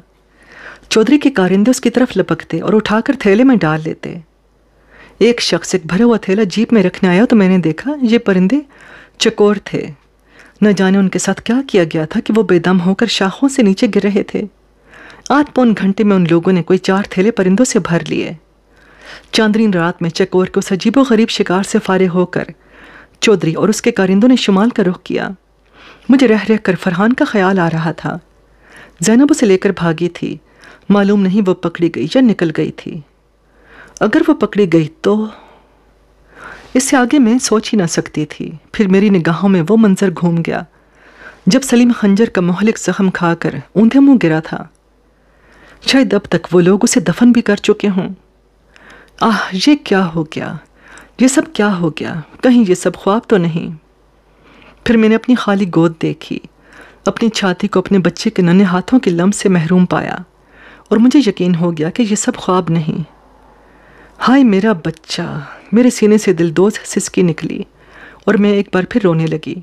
मेरे साथ बैठे हुए चौधरी ने मुझे हौसला देते हुए कहा, ज़रा सब्र कर कुड़िए, घर पहुँच कर तेरी सारी कहानी सुनाएँगे और अगर तेरी मदद कर सके तो मदद भी करांगे। जीप लहराती हुई बरगद के दो बड़े दरख्तों के नीचे रुक गई। उसके पीछे पीछे घुड़सवार भी जहाँ आकर ठहर गए। ये एक वीरान जगह थी। एक तरफ़ चंद कच्चे पक्के कोठे थे। कोठों के सामने धोनी रची हुई थी और एक दरवाजे के अंदर से लालटेन की रोशनी भी नज़र आ रही थी। घोड़ों की हनहनाहट और जीप की खड़खड़ाहट सुनकर एक उम्र रसीदा शख्स लालटेन थामे कोठे से बाहर निकल आया। इतनी सख्त सर्दी में भी उसके जिस्म पर एक लंगोटी के सिवा और कुछ नहीं था। उसे देखकर चौधरी ने अपने कारिंदे से कहा, हाशु, दो थैले बाबे जी के लिए हैं। फिर उसने बूढ़े को मुखातिब करके हाँक लगाई, बाबा जी, अपना हिस्सा ले लिया आकर। बूढ़ा झुककर चलता जीप के पास आया। उसके गले में मालाएँ थीं और हुलिया मलंगो जैसा था। हाशु नामी कारिंदे ने चकोरों से भरे हुए दो थैले बूढ़े के कदमों में रख दिए। बूढ़े ने दोनों हाथ उठाकर दरवेशाना अंदाज में दुआ दी। अल्लाह, तुझे तेरे मकसद में कामयाब करे। तू फ़कीरों को खुश करता है, ऊपर वाला तुझे खुश करे। चौधरी ने जेब से कुछ रुपए निकाले और मलंग के हाथ में थमा कर कहा, बाबा, ये लंगर की रोटी के लिए। ये रुपए भी फ़कीराना शान के साथ रख लिए गए। जीप एक झटके से आगे बढ़ी और चंद ऊँचे नीचे रास्तों पर सफ़र करने के बाद एक गाँव में दाखिल हो गई। रात को पहर चौधरी का इस्तकबाल करने के लिए गाँव के आवारा कुत्तों के सिवा और कौन आ सकता था, सो वो आए और उनकी दो रोया कितारों से गुजर कर जीप पुरानी तर्ज की एक हवेली के सामने जा रुकी। यह मकान नुमा हवेली खालिश देहाती तर्ज की थी। उसके खुले फाटक से गुजर कर जीप अहाते में पहुँची। मेरे जहन में कल बलाते हुए अंदेशे चिखने चिघाड़ने लगे। गाँव सो रहा था और मैं अजनबी मर्दों के साथ एक अजनबी चार दीवारी में थी। चौधरी के कहने पर मैं जीप से उतर तो आई, मगर अब मेरा हर कदम मन मन का हो चुका था। चौधरी की तेज़ नज़रों ने मेरी हिचकिचाहट का महसूस कर लिया। वो अपने नौकर से बोला, जाओ हाशू, रजिया को बुला कर ला। वो इसे जिनान खाने में ले जाए। रजिया का नाम सुनकर मेरी जान में जान आई इसका मतलब था कि इस चार दीवारे में औरतें भी मौजूद हैं। ताहम मेरा यह इतमान देर पा साबित नहीं हुआ। चौधरी ने अपनी बात मुकम्मल करते हुए कहा, मैं भी थानेदार को लेकर आता हूँ इसका बयान लेने के लिए। पुलिस का नाम सुनते ही मेरी आँखों के सामने अंधेरा छा गया। मैं मजलूम होने के बावजूद मुजरिम भी थी। मुझ पर अपने शोहर के कत्ल का इल्ज़ाम था और कानून के कागज़ों में मैं मफरूर थी। मैंने बेसाख्ता कहा, नहीं चौधरी साहब पुलिस को इतला नहीं देना। मैं आपको सब कुछ बता दूँगी। मैं आपको सब कुछ बता देती हूँ। लेकिन लेकिन आप, एक बार फिर अल्फाज मेरे हल्क में घुट गए और मैं हिचकियों से रोने लगी। चौधरी और मौके पर मौजूद दूसरे अफराद मेरी तरफ़ गहरी नज़रों से देख रहे थे। उनकी नज़रों की जुबन में बहुत देर पहले से महसूस कर रही थी। जो महसूस होता था कि मेरे बताने से पहले ही ये लोग मेरे बारे में बहुत कुछ जानते हैं। ये गुमान भी हो रहा था कि चौधरी ने पुलिस के बाद सिर्फ़ मेरा रद्दमल देखने के लिए किए है। बहरहाल उस मौके पर मैं यकीन से कुछ नहीं कह सकती थी।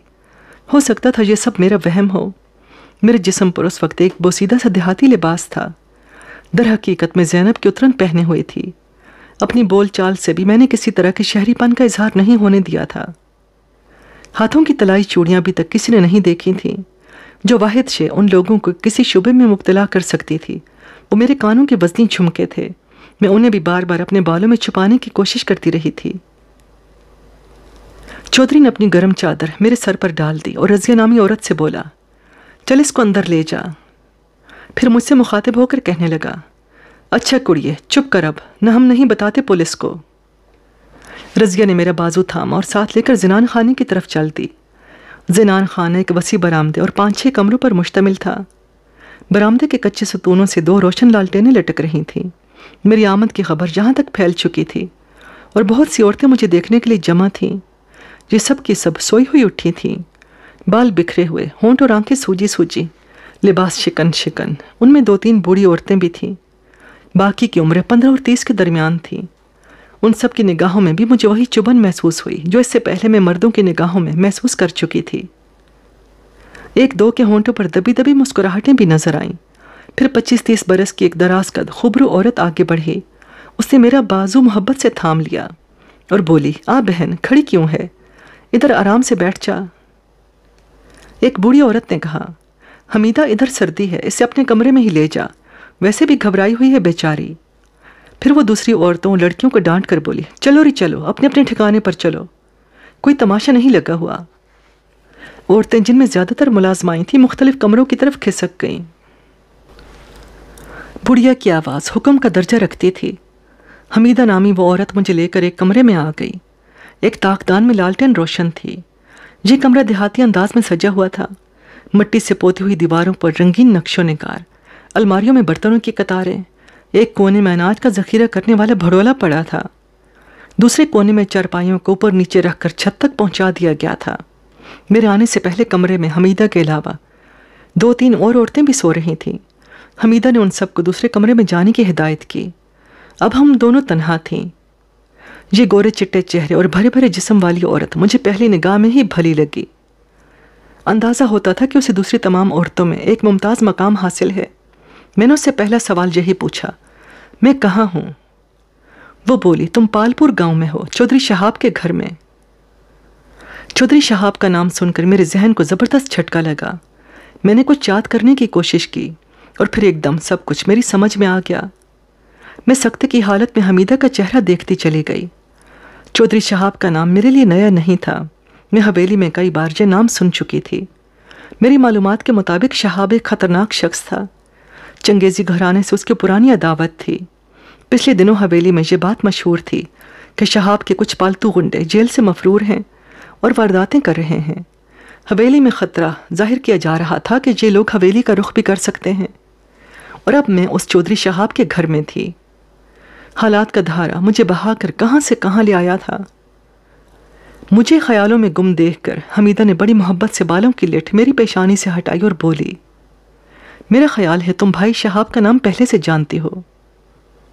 हाँ बहन, मैंने घबरा कर कहा। देख मेरी बहन, उसने प्यार से मेरे दोनों हाथ थाम कर कहा। अब छुपाने से कुछ हासिल नहीं होगा। जहाँ सबको मालूम हो चुका है कि तुम कौन हो। मैं अपनी जगह से उछल पड़ी, हमीदा बोली, बहरहाल तुम यहाँ बिल्कुल महफूज हो। भाई शहाब की मर्ज़ी के बगैर ना पुलिस जहाँ पहुँच सकती है और ना चंगेजियों का कोई बंदा। मेरी पेशानी सख्त सर्दी में पसीने से तर हो रही थी। मेरे पहुँचने से पहले मेरी बर्बादी के अफसाने यहाँ पहुँच चुके थे। मुझे चौधरी शहाब और उसके साथियों की चुपती हुई नज़रें याद आईं। वो दबी दबी सरगोशियाँ याद आईं, जो सहन में औरतों ने मुझे देख कर की थीं। मैं अपनी हर के नदामत में डूबने लगी। आँखों ने एक बार फिर सावन भादों की छड़ी लगा दी। मुझे रोता देखकर हमीदा ने मुझे सीने से लगा लिया। मैं और फूट फूट कर रोने लगी। हाय मेरा बच्चा, पता नहीं वो कहाँ होगा, किस हाल में होगा। हमीदा मुझे पुचकारने लगी। कुछ देर बाद दिल का गुबार कुछ हल्का हुआ तो हमीदा ने कहा हौसला रख मेरी बहन, भाई शहाब, सब कुछ ठीक कर लेगा। इतने में दरवाजे पर खनकारने की भारी मर्दाना आवाज़ आई और चंद लम्हों बाद चौधरी शहाब लंबे लंबे डग भरता अंदर आ गया। कुछ देर हौसले तसली की बातें करने के बाद उसने कहा, देख बीबी, हमने तुझे पनाह दी है और तेरी पूरी मदद भी करेंगे, लेकिन ये तब ही हो सकता है कि तू सारा हाल अहवाल खोलकर बयान करे। मैंने निगाह उठाकर देखा उसकी गोद में वही मुड़ा तोड़ा अखबार पड़ा था जिसमें मेरी बदनामी का इश्तहार लगा था।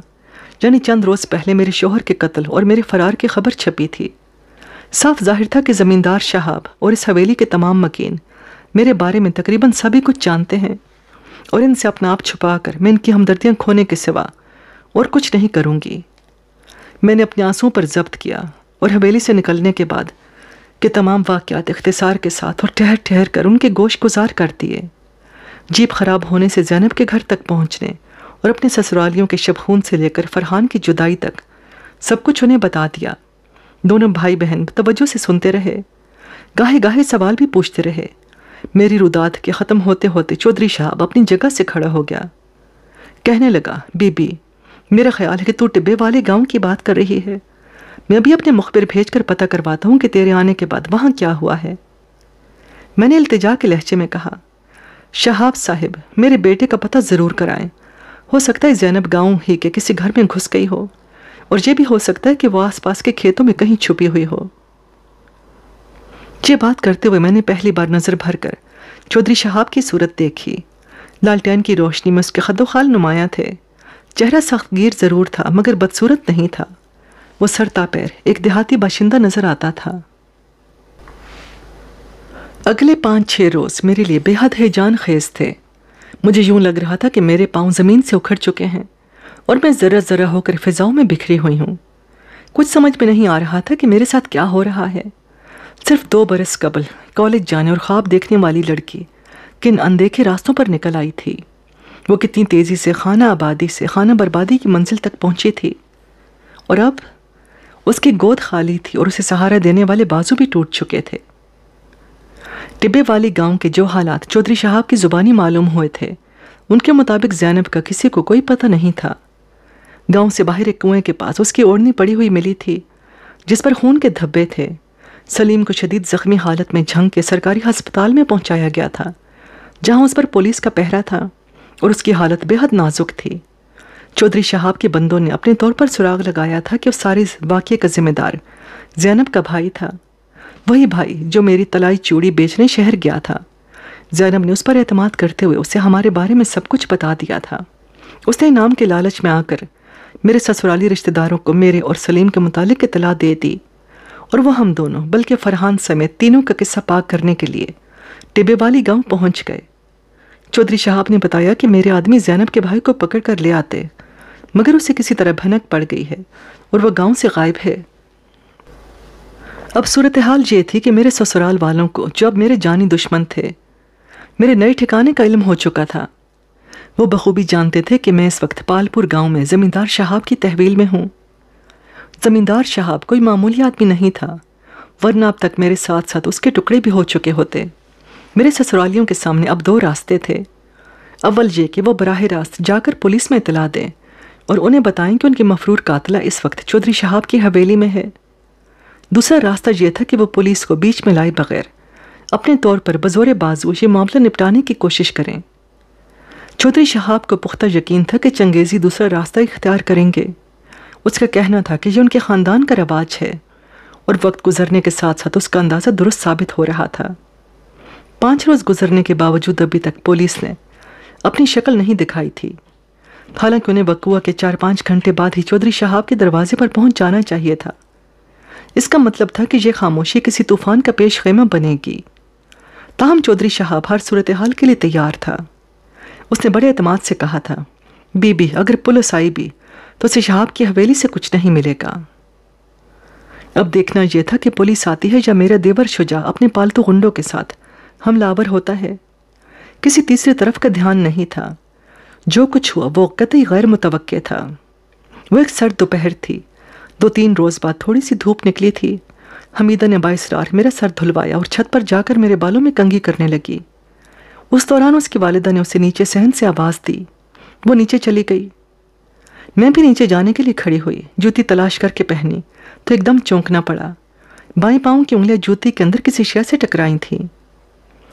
ये एक बंद जूती थी, जिसे आम ज़ुबान में पंपी भी कहा जाता है। जूती के अंदर कोई कागज़ ठुंसा हुआ था। मैंने पाँव निकालकर ये कागज़ बाहर खींचा। ये एक मुड़ा तोड़ा नीला लिफाफा था। उस पर नीली स्याही में सना महबूद के अल्फाज देखकर मेरे दिल धड़क उठा। ये लिफाफा यहाँ कैसे आया? और इस पर मेरा नाम? अचानक कि मुझे किसी गंभीर खदशे का एहसास हुआ। मैंने लिफाफा लिबास में छुपाया और तेज़ कदमों से सीढ़ियाँ उतर कर नीचे एक कमरे में आ गई। अंदर से कुंडी चढ़ाकर मैंने धड़कते दिल से लिफाफा खोला। अंदर कॉपी साइज़ का एक कागज़ था और ज़ख्मों पर बांधने वाली सूती पट्टी का एक टुकड़ा था। टुकड़े की चार तहें की गई थी। उन तहों में सफ़ेद रुई रखी हुई थी। मैंने जल्दी से रुई खोल कर देखा। मेरी आँखें दहशत से फटी रह गईं। रुई पर खून के सुर्ख धब्बे थे और उन धब्बों के दरमियान एक नन्हे मुन्ने बच्चे की उंगली की पोर रखी हुई थी। पोर को नाखून समेत काटा गया था और कटे हुए किनारे हल्के स्याह हो चुके थे।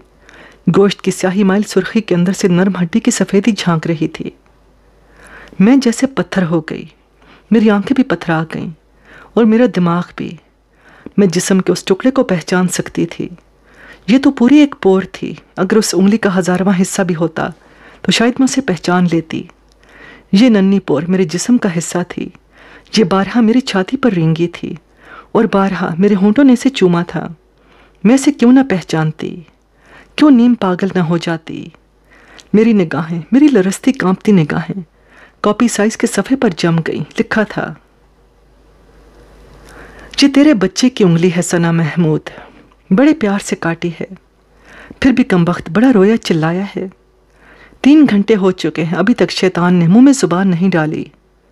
मजबूरी है, अब ख्वाब आवर इंजेक्शन लगाना पड़ेगा। बच्चे को नहीं, खुद मुझे अपने आप को। आखिर सोना भी तो है। ऐसे ही पाँच इंजेक्शन मेरे पास और रखे हैं। शायद अगले हफ़्ते तक काम आ जाए। तुमसे ख़तों किताबत का सिलसिला भी साथ साथ जारी रहेगा। शायद परसों तुम्हें ऐसा ही एक और ख़त मिले। अगर ये ख़तों किताबत तुम्हें पसंद नहीं तो कल रात आठ और दस बजे के दरमियान खानका डोगरा के सामने रोही नाले की दूसरी पुली पर पहुँच जाओ।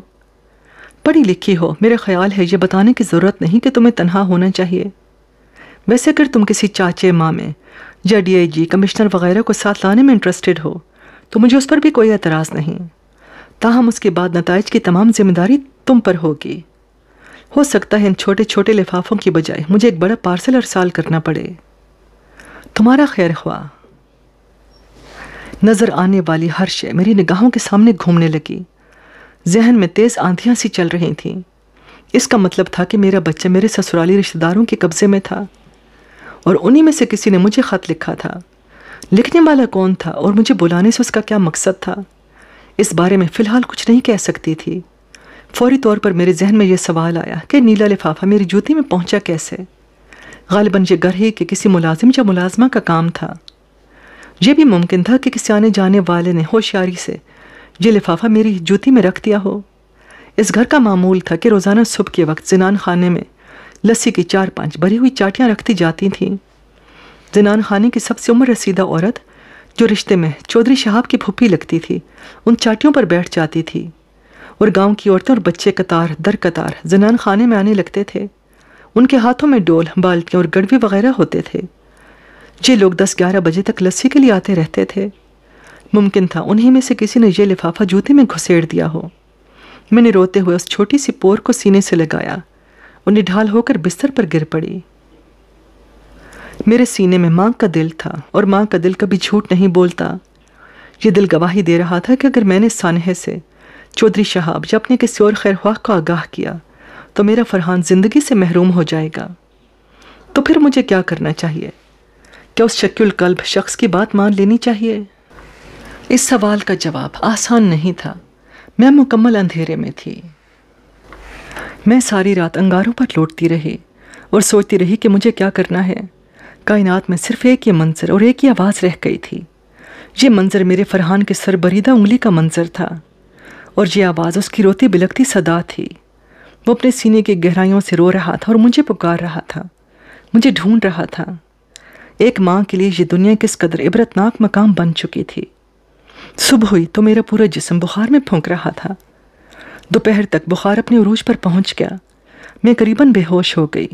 बेहोशी की हालत में मैंने खुद को फरहान का नाम पुकारते सुना। फिर मैंने हमीदा को देखा जो मेरी पेशानी पर ठंडी पट्टियाँ रख रही थी। रात के सी वक्त मैंने देखा एक कंपाउंडर नुमा शख्स मुझ पर झुका हुआ। मेरे बाजू में इंजेक्शन लगा रहा था। पूरे दो रोज़ में बुखार में बेहाल रही। तीसरे रोज़ सुबह के वक्त कदरे अफाका हुआ और उठकर बैठने के काबिल हुई। मुँह हाथ धोकर मैंने हल्का नाश्ता किया और थोड़ी सी चहलकदमी करने के बाद दोबारा बिस्तर पर आ लेटी। जहन पर एक बार फिर खौफनाक अंदेशों की जलगार होने लगी थी। यक यक मुझे अपने सर के नीचे तकिए में सरसराहट सी महसूस हुई। जैसे कोई कागज़ गिलाफ के अंदर रखा हो।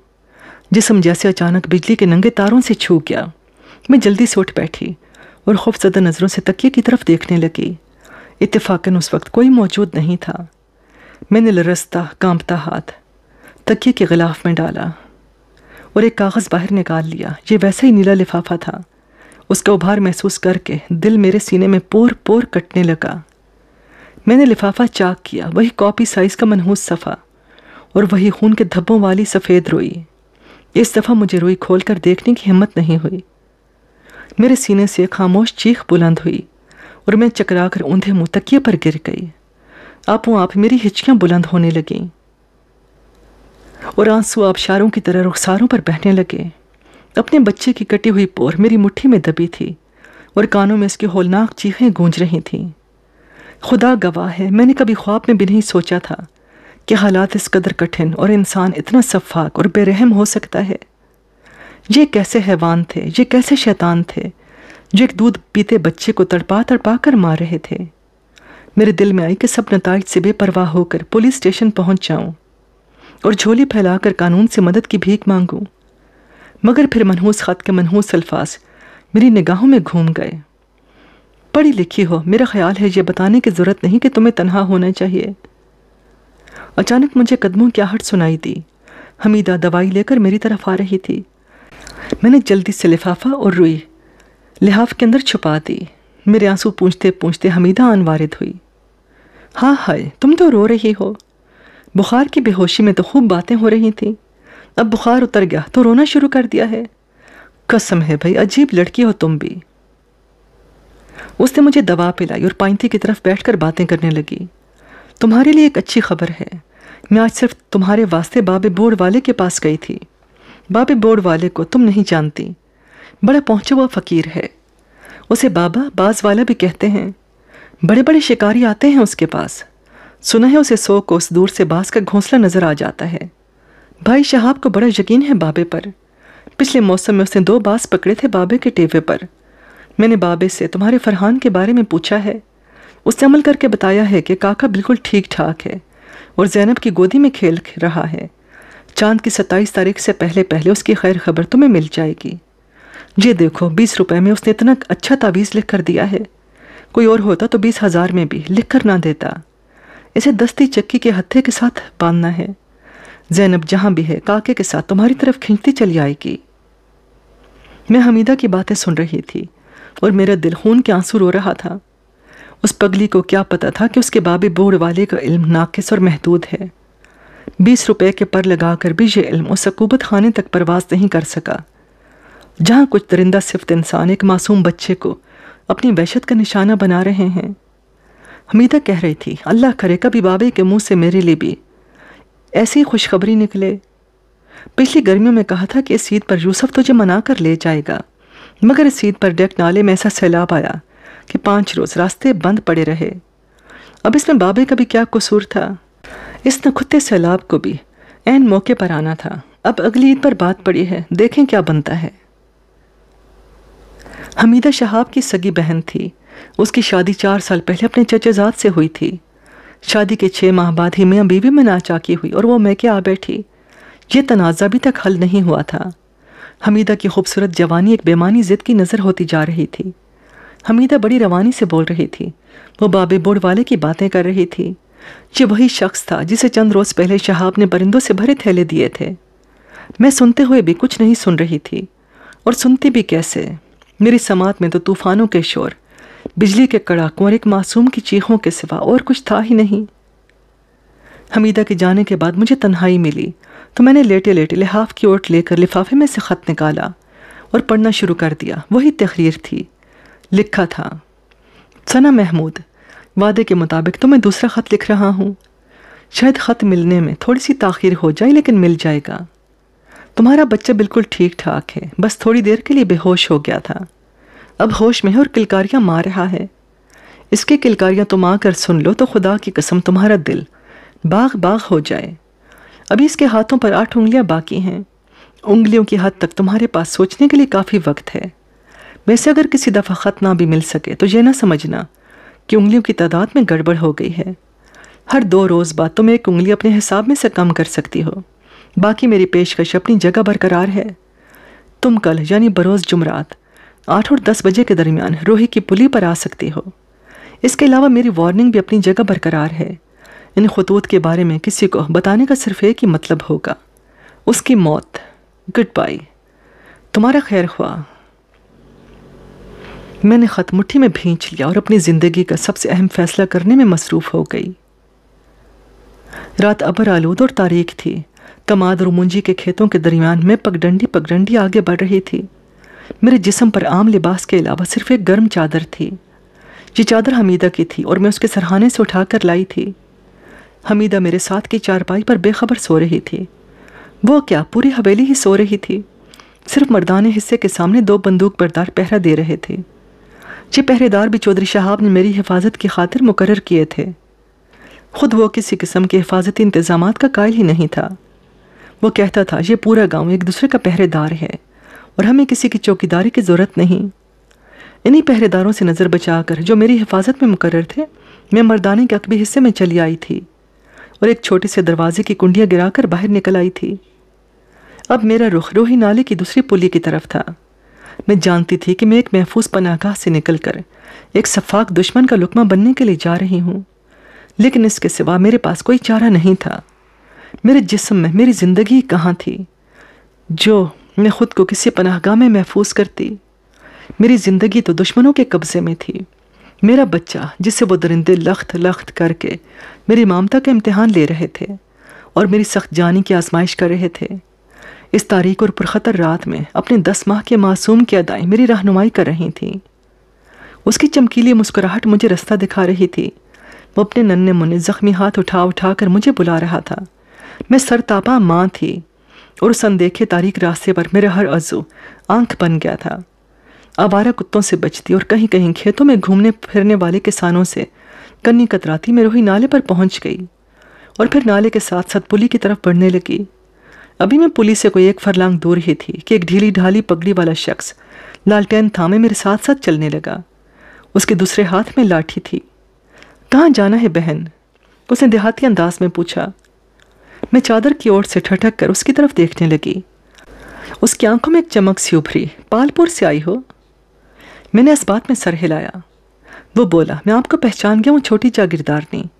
जागीरदार जी ने मुझे आपको लाने के लिए भेजा है। कौन सा जागीरदार? मैंने रुक कर पूछा। चौधरी वहाब अली साहिब।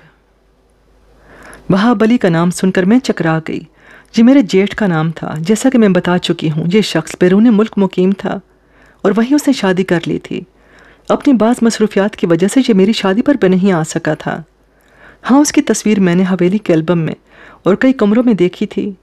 उसकी शक्ल मेरे मरने वाले शोहर से बहुत मिलती थी। कुछ फरबा और मुझे कुछ मुख्तसर थी। उसकी मुकम्मल छवि मेरी निगाहों में घूमने लगी। तो क्या ये वो शख्स था जो दरिंदगी की हर इंतहा पार करके मेरे मासूम बच्चे पर कयामत तोड़ रहा था? कहाँ है ये शख्स? मैंने बेपनाह नफरत से पूछा। आपको सामने वाले कुएँ तक चलना होगा, उसने मुख्तसर जवाब दिया। मैंने चंद लम्हे सोचे और उसके साथ चल पड़ी। वो मुझे कुएँ पर ले आया, जहाँ बिगड़ी तिगड़ी शक्लों वाले तीन चादर पोश मौजूद थे। उनमें से दो को मैं पहचान गई, वो हवेली के आदमी थे। उनके पीछे जो पुरानी शेवलेट कार खड़ी थी, वो भी हवेली ही की थी। कम ज़र्फ मर्दों की मखसूस आदत के मुताबिक उन्होंने मुझे सर से पाँव तक घूरा। फिर एक शख्स, जिसका नाम शायद सिराज था मसनू एहतराम से बोला, मालकिन, जागीरदार जी को यकीन था कि आज आप ज़रूर आएँगे। चलिए, वो आप ही का इंतज़ार कर रहे हैं। कहाँ, ज़्यादा लंबा सफ़र नहीं आज पौन घंटे में पहुँच जाएँगे। कहाँ पहुँच जाएँगे? मेरा बच्चा कहाँ है? मैंने चीख कर पूछा। सिराज ने मुझे आँखों ही आँखों में खामोश रहने का इशारा किया। जैसे बताना चाहता हूँ कि दूसरे अफराद के सामने ये ज़िक्र मुनासिब नहीं। दबे हुए लहजे में बोला, मालकिन, हमें ऊपर से जो हुक्म मिला है आपको बता दिया है। अब हम हाजिर हैं। अगर आप जाना चाहें तो गाड़ी में बैठ जाएँ। मेरे चाहने या ना चाहने का तो सवाल ही कोई नहीं था। मैंने अपने लखते जिगर का नाम लेकर खुद को हालात के तेज़ धारे में फेंक दिया था। अब यह धारा मुझे कहीं भी ले जाता। मैं गाड़ी में आ बैठी। तीनों अफराद सिमट सिमटा कर अगली सीट पर बैठ गए। गाड़ी स्टार्ट हुई और एक झटके से आगे बढ़ गई। ऊँचे नीचे, कच्चे रास्तों पर यह सफ़र कोई डेढ़ घंटे बाद ख़त्म हुआ। मैंने अंदाज़ा लगाया कि मैं दोबारा अपने ससुराली गाँव के कुर्बो जवार में पहुँच चुकी हूँ। गाड़ी एक जौहर के सामने संगतरों और किनुओं के बाग में रुकी। बहुत घना बाग था जगह जगह ढेरों की सूरत में बहुत सा फल पड़ा था। हर तरफ़ खुशबू ही फैली हुई थी। हम गाड़ी से उतरे और पैदल चलते हुए एक इमारत के सामने पहुँच गए। पुख्ता ईंटों की ये खूबसूरत इमारत डेढ़ दो के नाल रकबे में वाक़ थी। कहीं करीब ही कोई मशीन सी चल रही थी। इमारत के अंदरूनी हिस्से में बिजली की रोशनी देखी तो अंदाज़ा हुआ कि यह मशीन जनरेटर है। हम दरवाजे के सामने पहुँचे। दस्तक पर एक ख्वाबीदा मुलाजिम ने दरवाज़ा खोला। वसी सहन से गुजार कर मुझे कमरे में बिठा दिया गया। मेरे कान अपने बच्चे की आवाज़ सुनने के लिए बेकरार हो गए। मगर क्या पता वो यहाँ था भी या नहीं। सब्ज़ी काटने वाली वो तेज़ छुरी जो मैंने अपने लिबास के नीचे छुपा रखी थी, बुरी तरह मेरी पसलियों में चुभ रही थी। पालपुर की हवेली से निकलते हुए न जाने क्यों मैंने ये छुरी पास रख ली थी। किस कदर हैरत की बात थी कि मैं जो चंद हफ़्ते पहले तक एक मुर्गी ज़िबा होते नहीं देख सकती थी और एक मच्छर को अंगूठे तले दबाना मेरे बस में नहीं था। किसी को ज़ख्मी करने, धमकाने या मारने के लिए एक छुरी अपने साथ लिए फिरती थी। दुरुस्त था कि अभी तक मैंने किसी को मारा या ज़ख्मी नहीं किया था, और ना ही मुझमें इतनी हिम्मत थी। लेकिन मैंने एक नियत तो की थी, एक कदम तो उठाया था। शायद इसकी वजह यह थी कि चंद रोज़ पहले मैंने निहत्ते सलीम को कातलों के नरगे में बेबसी से ढेर होते देखा था, और उस सानहे ने मुझे लाशौरी तौर पर हथियार की अहमियत का एहसास दिलाया था। उस सानहे का सबब मैं ही तो थी, जिसने उसका पिस्तौल जोहर में फेंक कर उसे नंगी जारहियत के खूनी जबड़ों में दे दिया था। पता नहीं अब वो ज़िंदा भी था या नहीं। फरहान के गम में से सलीम की मजलूमियत का दुख कोंपलों की तरह फूटने लगा। आह, मैंने उसे चाहकर बर्बाद कर दिया था।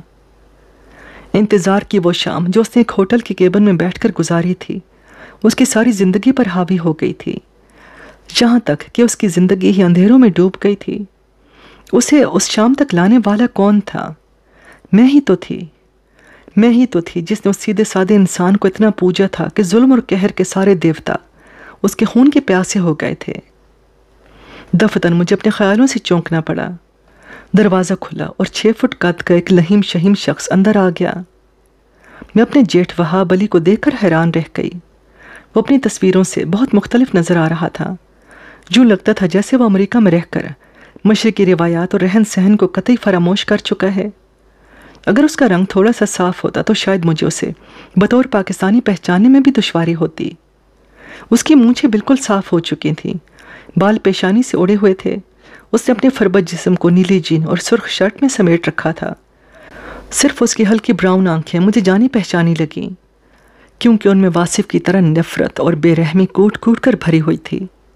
वो चंद लम्हे बेतासुर चेहरे के साथ मेरी तरफ़ देखता रहा, फिर वो बोला, बैठ जाओ। मैं दोबारा सोफे पर बैठ गई। उसने हाथ में पकड़ी बोतल से गिलास भरने के बाद उसे बेतकल्लुफी से मेज़ पर रख दिया। बच्चा लेने आई हो, उसके लहजे की नफरत और तेज़ी छुपाई नहीं छुपती थी। हाँ मैंने हौसला जमा करके कहा, किसका बच्चा है वो? आपके छोटे भाई का, मैंने रोते हुए कहा। जिसे तुमने अपने किसी लगते के साथ मिलकर कत्ल किया है? ये सब झूठ है। तो फिर सच क्या है? अगर मैं सब कुछ सच सच बता दूँ तो आप इंसाफ करेंगे? इंसाफ चाहने वाले भागते नहीं, कानून से छुपते नहीं फिरते। कानून को यहाँ तक पहुँचने कौन देता है? जहाँ का कानून तो यही है ना? मैंने अपने बच्चे की कटी हुई पोरें रुई समेत सोफे पर रख दी। यका यक वहा बली किसी दरिंदे की तरह मुझ पर झपटा। उसका जोरदार थप्पड़ मेरे मुँह पर पड़ा। और मैं ठंडे फर्श पर दूर तक लुढ़क गई। इंसाफ मांगती है बदजात कमीनी, इंसाफ मांगती है। वो गुर्राया और रातों घूसों से मुझे बुरी तरह पीटने लगा। वो गुस्से में दीवाना हो रहा था और नशे ने उसकी हर जरब को शदीद तर बना दिया था। सब्ज़ी काटने वाली छुरी बेवकत शेर की तरह मेरे लिबास के नीचे से फिसल कर फर्श पर लुढ़क गई। मैं जैसे तुंदो तेज लहरों की जद में थी। बुखार की शदीद नकाहत के बाद यह तशद मुझसे बर्दाश्त नहीं हुआ। और मैं नीम बेहोश होकर गिर पड़ी। रात किसी पहर होश आया। कमरे में ज़ीरो का मध्यम बल्ब चल रहा था। मैं अकेली थी। दरवाज़ा बाहर से बंद था और खिड़कियों पर लोहे की ग्रिलें भी थीं। मैं दरवाज़ा पीटने लगी और चिल्लाने लगी। कोई है? कोई है? कोई नहीं था या कोई सुनना नहीं चाहता था। थक हार कर मैं कमरे की अकलौती चारपाई पर बैठ गई। मेरे पूरे जिस्म पर चोटें आई थीं, लेकिन कंधे की जरब शदीद थी। गोश्त फट गया था और खून ने पूरी आस्तीन भिगो रखी थी। कमरे की सख्त सर्दी में उस तकलीफ़ ने मुझे कराहने पर मजबूर कर दिया। वो सारी रात मैंने उसी तरह जागते सोखते में गुजारी। अगले रोज़ एक मुलाजिम शख्स ने आकर मेरी मरहम पट्टी की और नाश्ता दिया। मैं उससे वहाब अली के बारे और अपने बच्चे के बारे पूछती रही, लेकिन उसने कोई जवाब नहीं दिया। ये शख्स मुझे जहाँ लाने वालों में शामिल था। रास्ते में उन लोगों का रवैया मुख्तलिफ़ था, लेकिन जहाँ पहुँचते ही सबने आँखें माथे पर रख ली थीं। शाम तक मैं उस कमरे में बंद रही। वो एक एक लम्हा सदियों पर भारी था। मेरी प्यासी निगाहें अपने बच्चे को देखने के लिए तरस रही थीं। वो कहाँ था? किस दीवार के पीछे था? किस छत के नीचे था? मैं उससे करीब रहकर भी उससे बहुत दूर थी। कैसा इम्तिहान था? ये कैसी आजमाइश थी? शाम के वक्त सिराज मुझे खिड़की के पास नज़र आया। मैंने उसे पास बुलाया और उसकी मिन्नतें करने लगी कि वो एक बार मुझे मेरे बच्चे की शक्ल दिखा दे। उसने पहले तो ये ज़ाहिर करने की कोशिश की कि बच्चा इस इमारत में मौजूद नहीं। फिर मेरे बढ़ते हुए इसरार और मिन्नत समाजत के पेश नज़र, उसके रवैये में थोड़ी सी तब्दीली महसूस हुई। उसने मेरे बंधे हुए हाथों पर एक नज़र डाली और बोला, मैं मालिक के हुक्म के बगैर कुछ नहीं कर सकता। मैंने रोते हुए कहा, अपने मालिक को, उसके बच्चों का वास्ता दो और उससे कहो, मुझ पर और जुल्म न करे। सिराज सोचता हुआ अंदरूनी हिस्से की तरफ़ चला गया। उसके जाने के बाद मुझे याद आया कि वहाब अली का तो कोई बच्चा ही नहीं था। मैं उसे किसका वास्ता दे रही हूँ? हवेली में ऐसी बातें हुआ करती थी कि वहाब अली बे औलाद है, ये उसकी महरूमी नहीं, आइडियालॉजी थी। मैंने उसके एक ख़त में खुद पढ़ा था, जो उसने अपनी माँ के नाम कनाडा में लिखा था।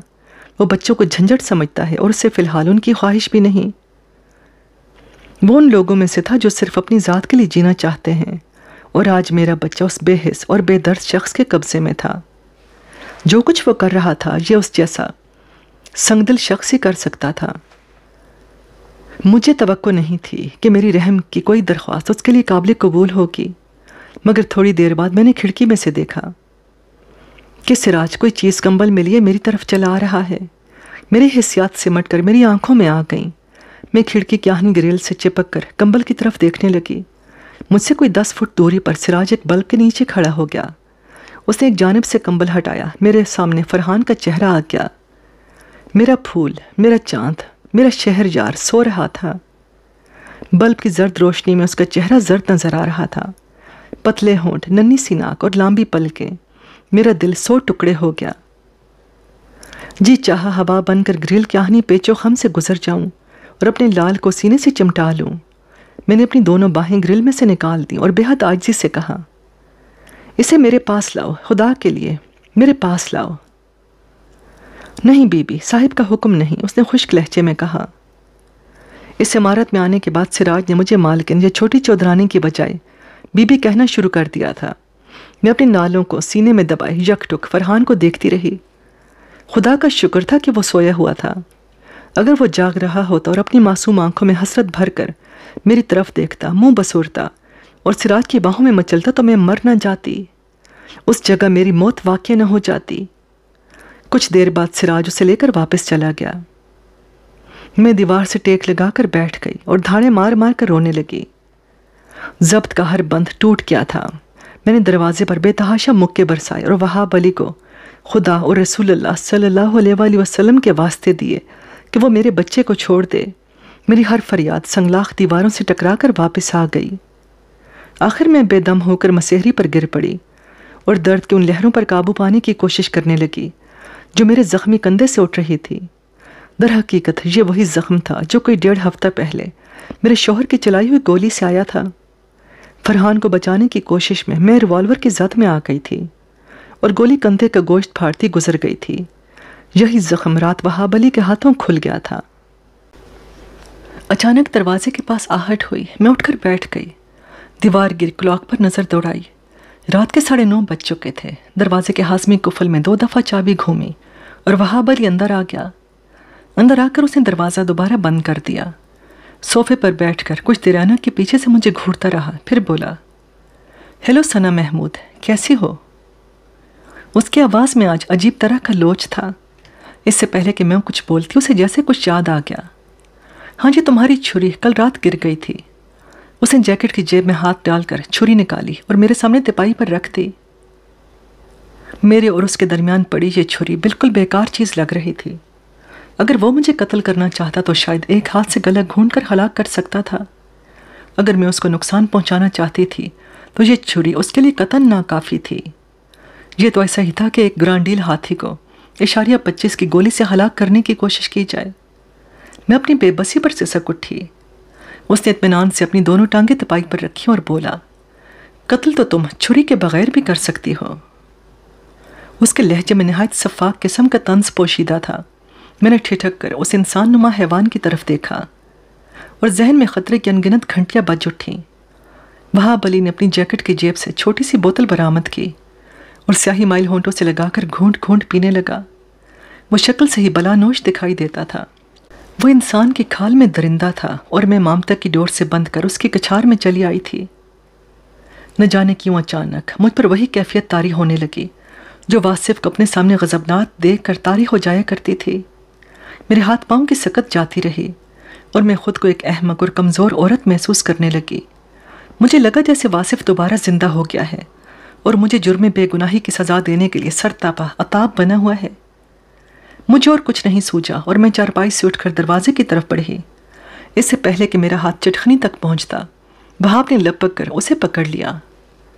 खुदा के लिए मुझे जाने दो, मुझे अपने बच्चे के पास जाने दो, मैंने फरियाद की। उसने झूमते हुए मानी खेज अंदाज में कहा यह मामला इतना आसान नहीं, मुझे सोचने का मौका दो। उसका तर्ज तखातुब बेगैरती का तीर था, जो मेरा सीना छलनी कर गया। मैंने अपना बाजू छुड़ाने की कोशिश की, वो हाथ लहरा कर बोला try to understand don't be foolish oh come on come on उसके अंदर मगरब बोल रहा था, मौका परस्त, नंगा और वहशी मगरब. ये मगरब किसी का भाई नहीं था, किसी का गम ख्वार नहीं था, इसका किसी से कोई रिश्ता नहीं था। मेरे अंदर मजामत करने वाली औरत जाग उठी। मैंने कुवत सर्फ करके अपना बाजू वहाब की गिरफ्त से छुड़ा लिया। उसे झटका लगा। और बोतल उसके हाथ से निकलकर दूर सोफे पर जा गिरी। उसका नशे जैसे हरन होने लगा। वो कुछ देर खूनी नज़रों से मुझे देखता रहा। फिर दरवाज़ा खोलकर और उसे बाहर से मुकफल करके चला गया।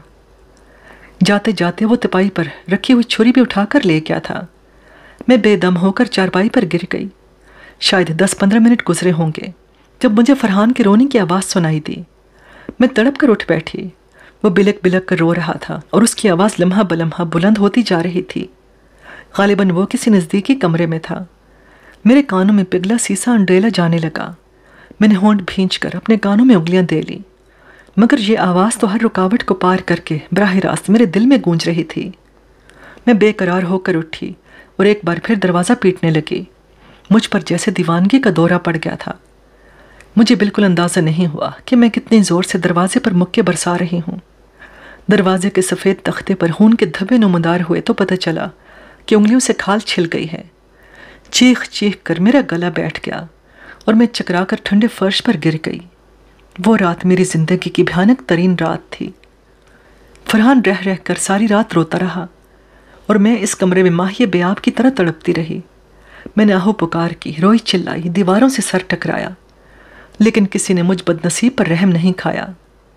लगता था, उन दीवारों में रहने वाला हर शख्स गूँगा और बहरा है। कहते हैं, जहन्नुमी, जहन्नुम में हज़ार हा साल। खुदा को पुकारता रहेगा और नामालूम ज़मानों बाद बारी ताला एक बार उस पुकार का जवाब देगा। मेरी वो रात भी एक ऐसे जहन्नुम में गुजरी थी। मैं पुकार पुकार कर हार जाती थी तो दिल ही दिल में कहती थी, मेरे लाल, मैं तेरे लिए कुछ नहीं कर सकती। मुझे माफ़ कर दे, मैं मजबूर हूँ। खुदा के लिए चुप हो जा, खुदा के लिए सो जा। और फिर सुबह हुई। उस रात की सुबह जो हज़ार रातों पर भारी थी, फरहान थक कर सो गया। या शायद मेरी तरह उसका भी गला बैठ चुका था। आज मुझे नाश्ता देने के लिए दरवाज़ा भी नहीं खोला गया। खिड़की की ग्रिल के अंदर से ही कुछ डबल रोटी और चाय कमरे के अंदर रख दी गई। नाश्ते का होश किसे था और मैं क्यों करती नाश्ता? जब मेरे दूध पर किसी का हक बाकी नहीं रहा था। थोड़ी देर बाद मुझे सिराज नज़र आया। खिड़की के पास पहुँचा दे दूर दर देख कर ग्रिल के पास ही बैठ गया। बीबी, ये नया मालिक बड़ा जालिम है। आप किसी तरह अपने बच्चे की जान बचा सकती हैं तो बचा लें। जो भी ये कहता है मान लें, मुझसे तो अब ये सब कुछ देखा नहीं जाता। मैं तो बीमारी का बहाना करके जा रहा हूँ यहाँ से। मैंने कहा, सिराज, इतने बेगैरत क्यों हो गए हो तुम सब? क्या तुमने खुदा को जान नहीं देनी? तुम्हारे भी तो बच्चे होंगे। किस तरह बर्दाश्त हो रहा है तुमसे ये जुल्म? नहीं होता बीबी, इसलिए तो जा रहा हूँ। मैंने रोते हुए कहा, कुछ और नहीं कर सकते तो पुलिस को ही इतला दे दो। मेरे मैके तक ही खबर पहुँचा दो। वो सरतापा काम किया मैंने उसके चेहरे को पहले कभी इतना खौफसदा नहीं देखा था। नहीं, बीबी जी जी नया मालिक किसी और ही की टाइप का शख्स है। बस कुछ न पूछें जी। सिराज की आँखों में आँसू तैर गए। फिर इधर उधर देख कर बोला, परसों मेरे चचाजाद भाई रहमत ने आपके बच्चे की उंगली काटने से इनकार कर दिया था। इस जालिम ने उसका पूरा पंजा टोके में देकर कटवा दिया। वो देखें, क्यारी के पास अभी तक पड़ा हुआ है। मैंने सिराज की निगाह का ताकुब किया। वो दूर सहन के कोने में एक बिल्ली किसी काली सी चीज़ पर मुँह मार रही थी। मेरा दिल उछल कर रह गया और निगाह खुद ब खुद उस शय से हट गई। सिराज कह रहा था, उसने उठाने की इजाज़त भी नहीं दी। कह रहा था, यहीं पड़ा रहने दो। खुद ही कुत्ते खा जाएँगे। सिराज की बातें सुनकर मेरा सर घूम रहा था। वो बोला, बीबी जी, मेरे छोटे छोटे बच्चे हैं। आप ही बताएँ मैं आपकी क्या मदद करूँ? मेरे सीने में कोई गोला सा घूमने लगा। मैंने चेहरा हाथों में छुपा लिया। अच्छा जी, रब रखा, सिराज ने आजुरता लहजे में कहा और बर्तन उठाकर तेज कदमों से वापस चला गया। वक्त पल पल सिरकता रहा। दोपहर तीन बजे के करीब दरवाजे पर आहट हुई। फिर पट खुले और कोई औरत जल्दी से अंदर आ गई। यूँ लगे जैसे उसे किसी ने धक्का दिया हो। उसके पीछे दरवाज़ा फ़ौरन ही मुकफ़िल हो गया। औरत ने रुख मेरी तरफ़ किया तो मैं उसकी सूरत देखकर हैरान रह गई। वो जैनब थी। उसके सर पर एक सफ़ेद पट्टी बंधी हुई थी और कपड़े बेहद मेले हो रहे थे। मैं हैरान नज़रों से उसे देख रही थी। जैनब के हाथों में कुछ कपड़े थे और साबुन की एक टिकिया थी। उसने ये चीज़ें तिपाई पर रखी और भागकर मुझसे लिपट गई। कितनी ही देर मुझसे चिमटी वो अपनी सिस्कियाँ रोकने की कोशिश करती रही। उसके एक पाँव पर अभी तक पट्टी मौजूद थी। वो गुलगीर आवाज़ में बोली, बहन, मुझे माफ़ी दे दे। मैं मरन जोगी तेरे काके को बचा नहीं सकी। मैंने तेरे काके को लेकर भागने की कोशिश की थी। मस्जिद के पीछे वाली गली से होकर मैं नंबरदार मुश्ताक के खेतों में निकल गई थी। गुंडे मेरा पीछा कर रहे थे। मेरा पैर जख्मी न होता तो शायद मैं उनकी पहुँच से निकल जाती। इशफाक के खेतों में उन्होंने मुझे जा लिया। एक ने पूरे ज़ोर से मेरे सर पर लाठी मारी। मैं चक्कर खाकर गिर गई। उन्होंने मुझे गालियाँ दी और बच्चा मुझसे छीन लिया। इतने में एक कार मेरे पास आकर रुकी। उन्होंने बच्चे को कार की पिछली सीट पर फेंक दिया। मैं तो बस बेहोश हो चुकी थी। मुझे भी घसीट घसाट कर उन्होंने कार में डाल दिया। काफ़ी देर चलने के बाद कार इस बाग में दाखिल हुई और कोठी के सामने आकर रुक गई। अब पिछले छः दिनों से मैं यहाँ हूँ। जैनब यूँ बात कर रही थी जैसे ये सब कुछ अभी अभी उसके साथ हुआ है। उसकी आँखों में आँसू थे और रंग मिट्टी की तरह हो रहा था।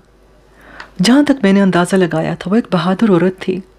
चंद रोज़ पहले अपने घर में उसने जिस तरह अपनी और हमारी मरहम पट्टी की थी, और एक इंसानियत सोज अलमिया का शिकार होने के बावजूद जिस तरह अपने माथे पर बल नहीं आने दिया था, वो सब मुझे याद था।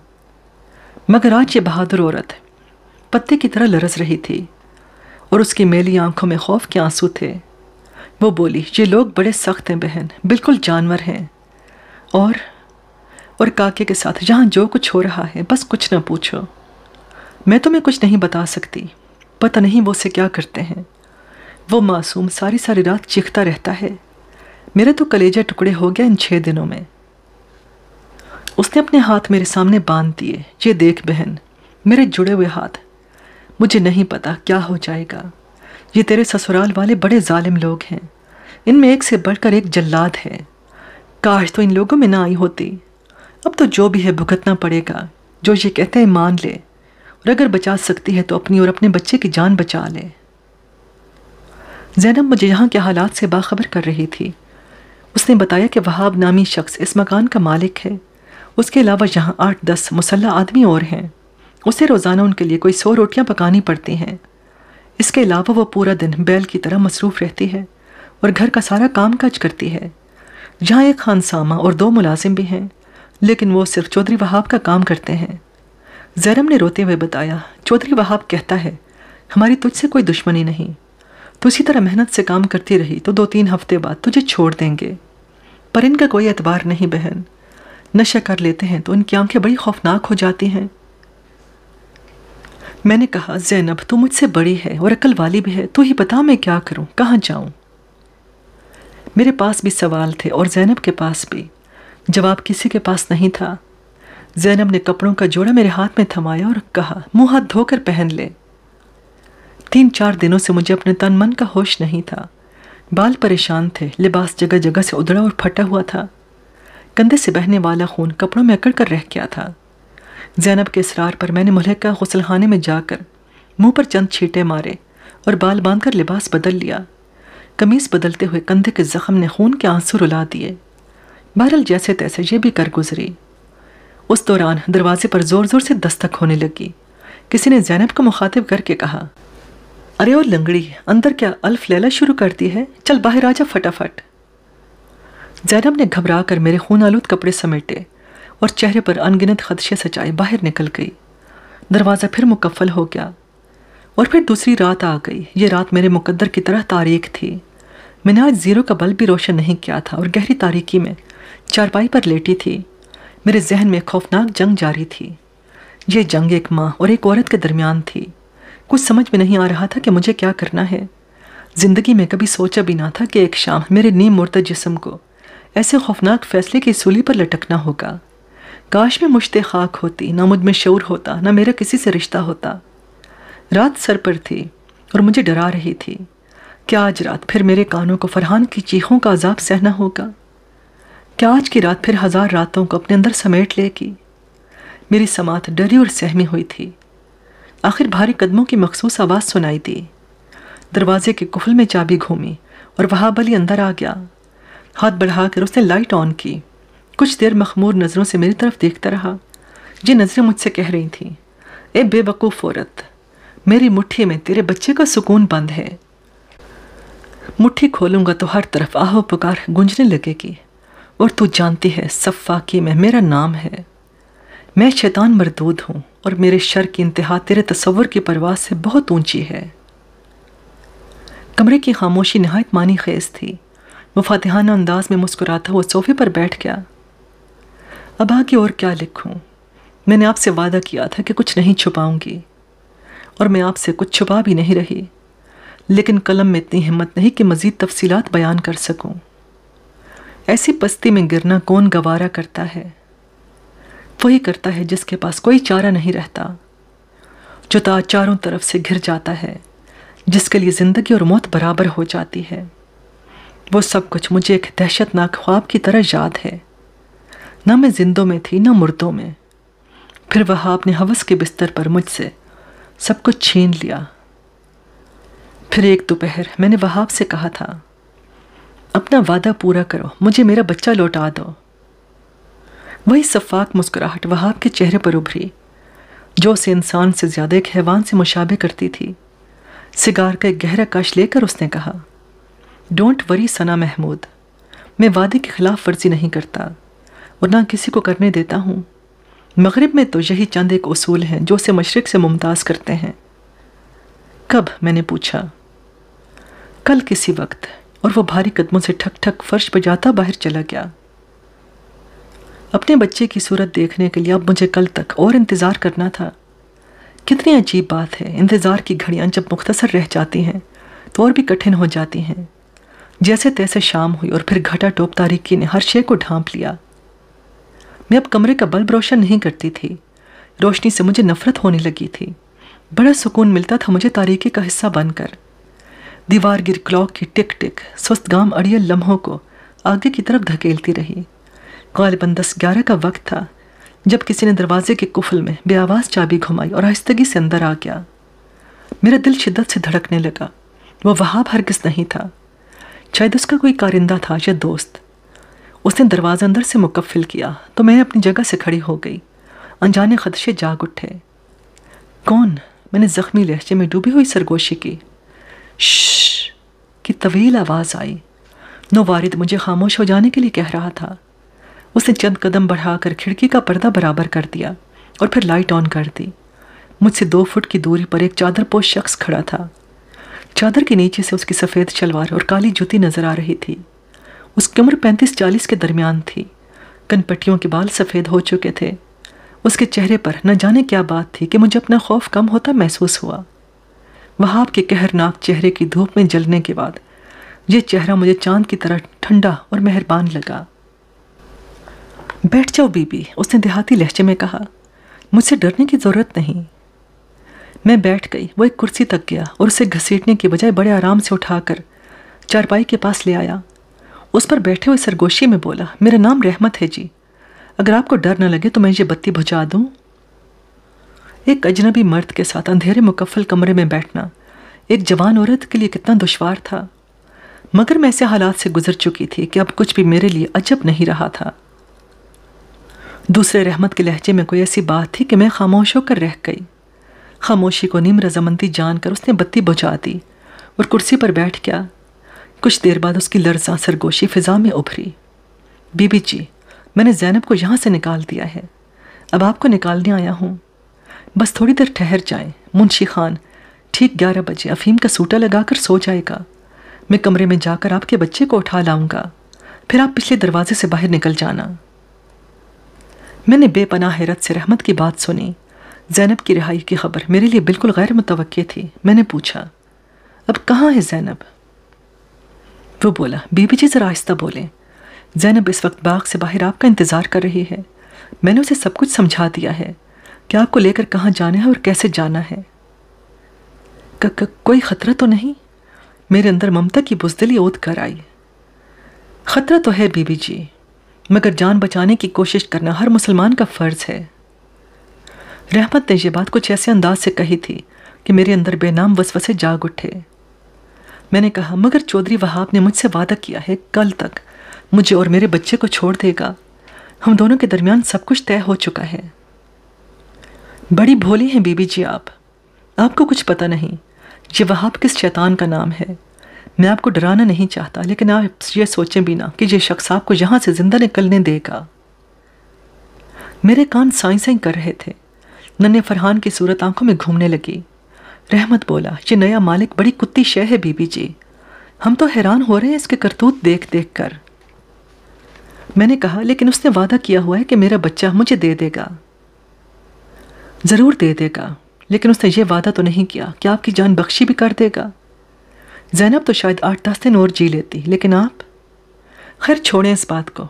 एक लम्हा खामोश रहकर उसने कहा, आप ज़ख्मी तो नहीं, मेरा मतलब है आपको तीन चार कोस पैदल चलना होगा। ये गर्म चादर मैं साथ ही ले आया हूँ। उसने एक ठंडा सा वजनी कपड़ा मेरी झोली में रख दिया। रहमत की बातें नहायत खौफनाक थीं, मगर उससे भी खौफनाक बात यह थी कि उन बातों में सच्चाई की झलक थी। मेरा दिल कह रहा था कि यह वहाब झूठा है और ये शख्स सच्चा। अगर ये सच्चा ना होता तो मेरे बच्चे के लिए, अपने एक हाथ की उंगलियों से महरूम ना होता। सिराज ने इसी के बारे में बताया था कि उसने वहाब का हुक्म मानने से इनकार कर दिया था और वहाब ने टोके में देकर उसका पंजा कटवा दिया था। बाद में जैनब ने भी यही बात बताई थी। मेरा दिल कह रहा था कि यह शख्स रहमत ही नहीं, रहमत का फरिश्ता भी है, जो मुझे इस अजाब से निजात दिलाने के लिए हुक्म रब्बी से यहाँ पहुँचा है। हम दोनों अपनी अपनी जगह खामोश थे। तारीकी हम दोनों के दरमियान एक बुलंदो बाला दीवार की तरह हायल थी। इस दीवार के दोनों तरफ़ हम अपनी अपनी सोचों में गुम थे।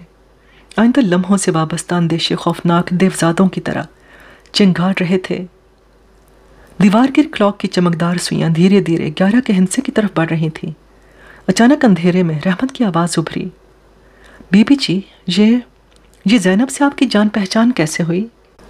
रहमत के सवाल ने मुझे हैरान कर दिया। उसके लहजे से अंदाज़ा होता था कि वो जैनब को बहुत पहले से जानता है।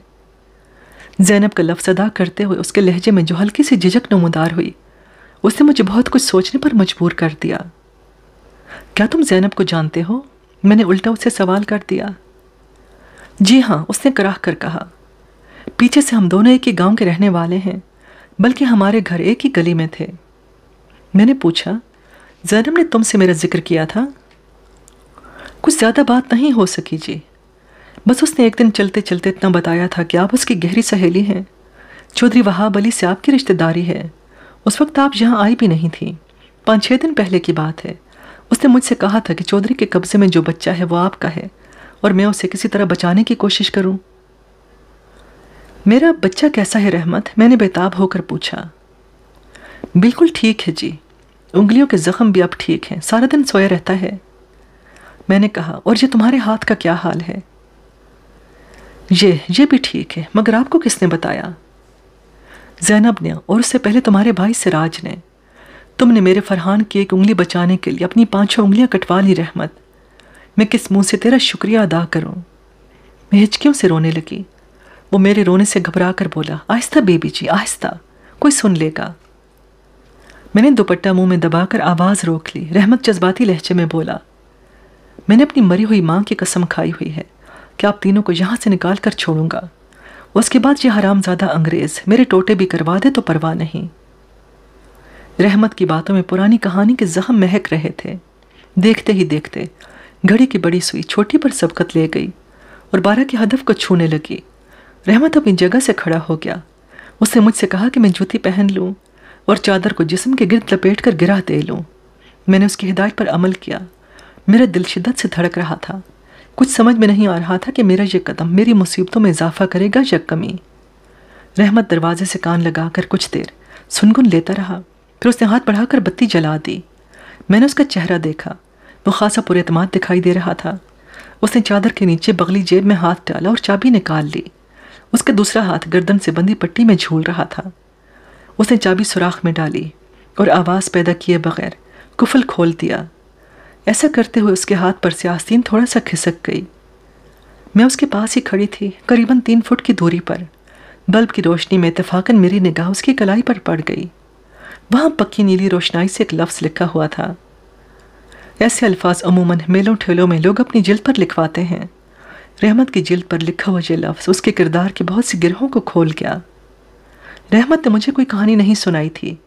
सिर्फ़ उसके लहजे ने थोड़ी देर पहले एक छोटा सा इशारा दिया था और अब उसकी कलाई पर कुंदा लफ्ज़, उस इशारे को वसी और मानी पहना रहा था। कलाई पर जैनब लिखा था और एक छोटे से दिल के साथ तीर का निशान बना हुआ था। एक लहजे के लिए यह लफ्ज़ और यह निशान मेरी निगाह में चमके। दूसरे ही लम्हे रहमत बत्ती बुझाकर और दरवाज़ा खोलकर बाहर की तारीकी में रेंग गया। मैं सब कुछ फरामोश करके अपनी धड़कनों को संभालने लगी और उसकी वापसी का इंतज़ार करने लगी। ये इंतज़ार तवील साबित हुआ। कोई दस मिनट बाद खिड़की की ग्रिल पर हल्की सी दस्तक हुई। मैंने पर्दा खिसका दिया। दूसरी तरफ़ रहमत का हयूला था। उसने सरगोशी में कहा, वो कमीना मुंशी खान अभी जाग रहा है। थोड़ी देर इंतज़ार करना होगा। मैं लरसते कदमों पर वहीं खड़ी रही। लम्हे सेकंडों में और सेकंड मिनटों में बदलते रहे। अचानक मेरे दिल उछलकर हल्क में आ गया। कोई दस पंद्रह गज की दूरी से कराह सुनाई दी। और फिर कोई धड़ाम से कच्ची ज़मीन पर गिर गया। कराह से पहले भी एक आवाज़ आई थी और मैं उस आवाज़ को किसी हद तक पहचान गई थी। वजनी लकड़ी या लोहे से किसी के सर पर ज़ोरदार ज़रब लगाई गई थी। इसका मतलब था कि काम शुरू हो चुका है। मेरा अंदाज़ा कह रहा था कि चोट खाकर गिरने वाला रहमत नहीं, क्योंकि गिरने की आवाज़ के बाद एक बार फिर गहरी खामोशी छा गई थी। गालबन रहमत ने मुंशी खान को निशाना बनाया था। तीन चार मिनट मैंने सूली पर लटकते हुए गुजार दिए। आखिर दरवाजे के पास तेज़ कदमों की आवाज़ आई। रहमत ने दरवाज़ा खोला और अंदर आ गया। बस अब पाँच मिनट यहीं ठहरे मैं काके को लेकर आता हूँ। वो दरवाज़ा खोलकर बाहर निकल गया। इस दफ़ा उसकी वापसी पाँच मिनट में हुई। वो तकरीबन भागता हुआ आया था। उसके हाथ में कंबल था और कंबल में कोई शय लिपटी हुई थी। आइए मेरे साथ, उसने कहा। मैंने कंबल छूकर फरहान की मौजूदगी का यकीन किया और उसके साथ बाहर निकल आई। खुश्क हवा ने पूरे जिसम में सर्दी की लहर दौड़ा दी। मेरे सर पर तारों भरा आसमान था। कई दिनों की कैद बाइज्जत के बाद आखिर में खुले आसमान तले आ गई थी। आज़ादी की मंजिल अभी दूर थी, लेकिन उम्मीद की किरण उफक से फूट रही थी। एक दीवार के साए साए चलाता रहमत मुझे एक बरामदे में ले गया। एक नीम तारीख खिड़की के सामने से गुजरते हुए वो पंजों के बल बैठ गया और बड़ी एहतियात से किसक खिसक कर आगे बढ़ा। मुझे भी ऐसा ही करना पड़ा। उसके बाद हम एक डेवड़ी नुमा कमरे में दाखिल हुए। डेवड़ी के आखिरी सिरे पर लकड़ी का एक पुराना फाटक नज़र आ रहा था। फाटक में मोटी जंजीर पड़ी थी और वजनी ताला लगा हुआ था। कहीं कहीं जाले भी नज़र आ रहे थे। लगता था इस रास्ते को शाजो नादर ही इस्तेमाल किया जाता है। रहमत उस फाटक की दहलीज पर बैठ गया और मुझे भी बैठने का इशारा किया। सरगोशी में बोला, बीबी जी, इस फाटक से निकलकर सीधी चलती जाना। नाले की छोटी सी पुली आएगी। उस पुली को पार करो तो सामने ही पीपल का अकेला दरख्त है।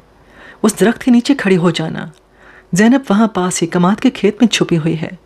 वो ही तुम्हें देख लेगी। उसने फरहान को कंबल समेत ज़मीन पर रख दिया। फिर फाटक एक पट एक हाथ से पकड़ा और दूसरे पट पर टांग जमाकर पूरा ज़ोर लगाया। चर्र चर्र की आवाज़ आई और फाटक के दोनों तख्तों के नीचे से थोड़ा सा फासला पैदा हो गया। ये फासला बमुश्किल इतना ही था कि मैं सुकड़ सिमट कर इसमें से गुजर सकती थी। रहमत के इशारे पर मैंने ऐसा ही किया। नीचे झुककर पहले मैंने अपना सर गुजारा और फिर जिसम को मोड़ तोड़ कर दरज में से गुजार दिया। पूरा जिस्म खराशों से भर गया और कंधे का जख्म खुलकर खून उगलने लगा। उसके बाद रहमत ने कंबल में लिपटा हुआ फरहान भी मेरे सुपुर्द कर दिया। उसने कहा, बीबी जी, अब जो कुछ भी है, खुदा का शुक्र अदा करो। चौधरी वहाब, आप दोनों को मारने का फैसला कर चुका था। सच पूछते हो तो बाघ के पिछवाड़े आप दोनों के लिए ज़मीन भी खोदी जा चुकी है। मैंने लरस कर फरहान को सीने से भींच लिया। रहमत ने जख्मी लहजे में कहा, बस जी, अब जल्दी करो, निकल जाओ। यहाँ से पीपल तक पहुँचने से पहले कहीं रुकना नहीं। रब राखा। मैंने उठकर देखा, मेरे पीछे तारों की रोशनी में कच्चे रास्ते के खदोखाल नज़र आ रहे थे। दूर दूर तक चारे के खेत थे और गन्ने की फ़सल थी। माल्टे और किन्नों के पौधे गालिबन मेरी बाएँ जानब रह गए थे। एक यख हवा हड्डियों में उतरती जा रही थी। मैंने मुड़कर एक नज़र उस मनहूस इमारत को देखा, जहाँ बकौल रहमत हमारे लिए कब्र भी खोदी जा चुकी थी और फरहान को बाजू में लेकर तेज कदमों से कच्चे रास्ते पर बढ़ने लगी। लिसनर्स, इस मोड़ पर हम कहानी की दूसरी किस्त का अख्ताम करते हैं। उम्मीद है ये नई कहानी आपको पसंद आई होगी। अगर आप मेरे चैनल पर नए हैं और मेरा कंटेंट आपको पसंद आ रहा है तो प्लीज़ मेरे चैनल को ज़रूर सब्सक्राइब कीजिएगा। इन फिर मिलेंगे बहुत जल्द किसी और नई कहानी के साथ। अभी के लिए अल्लाह हाफिज़।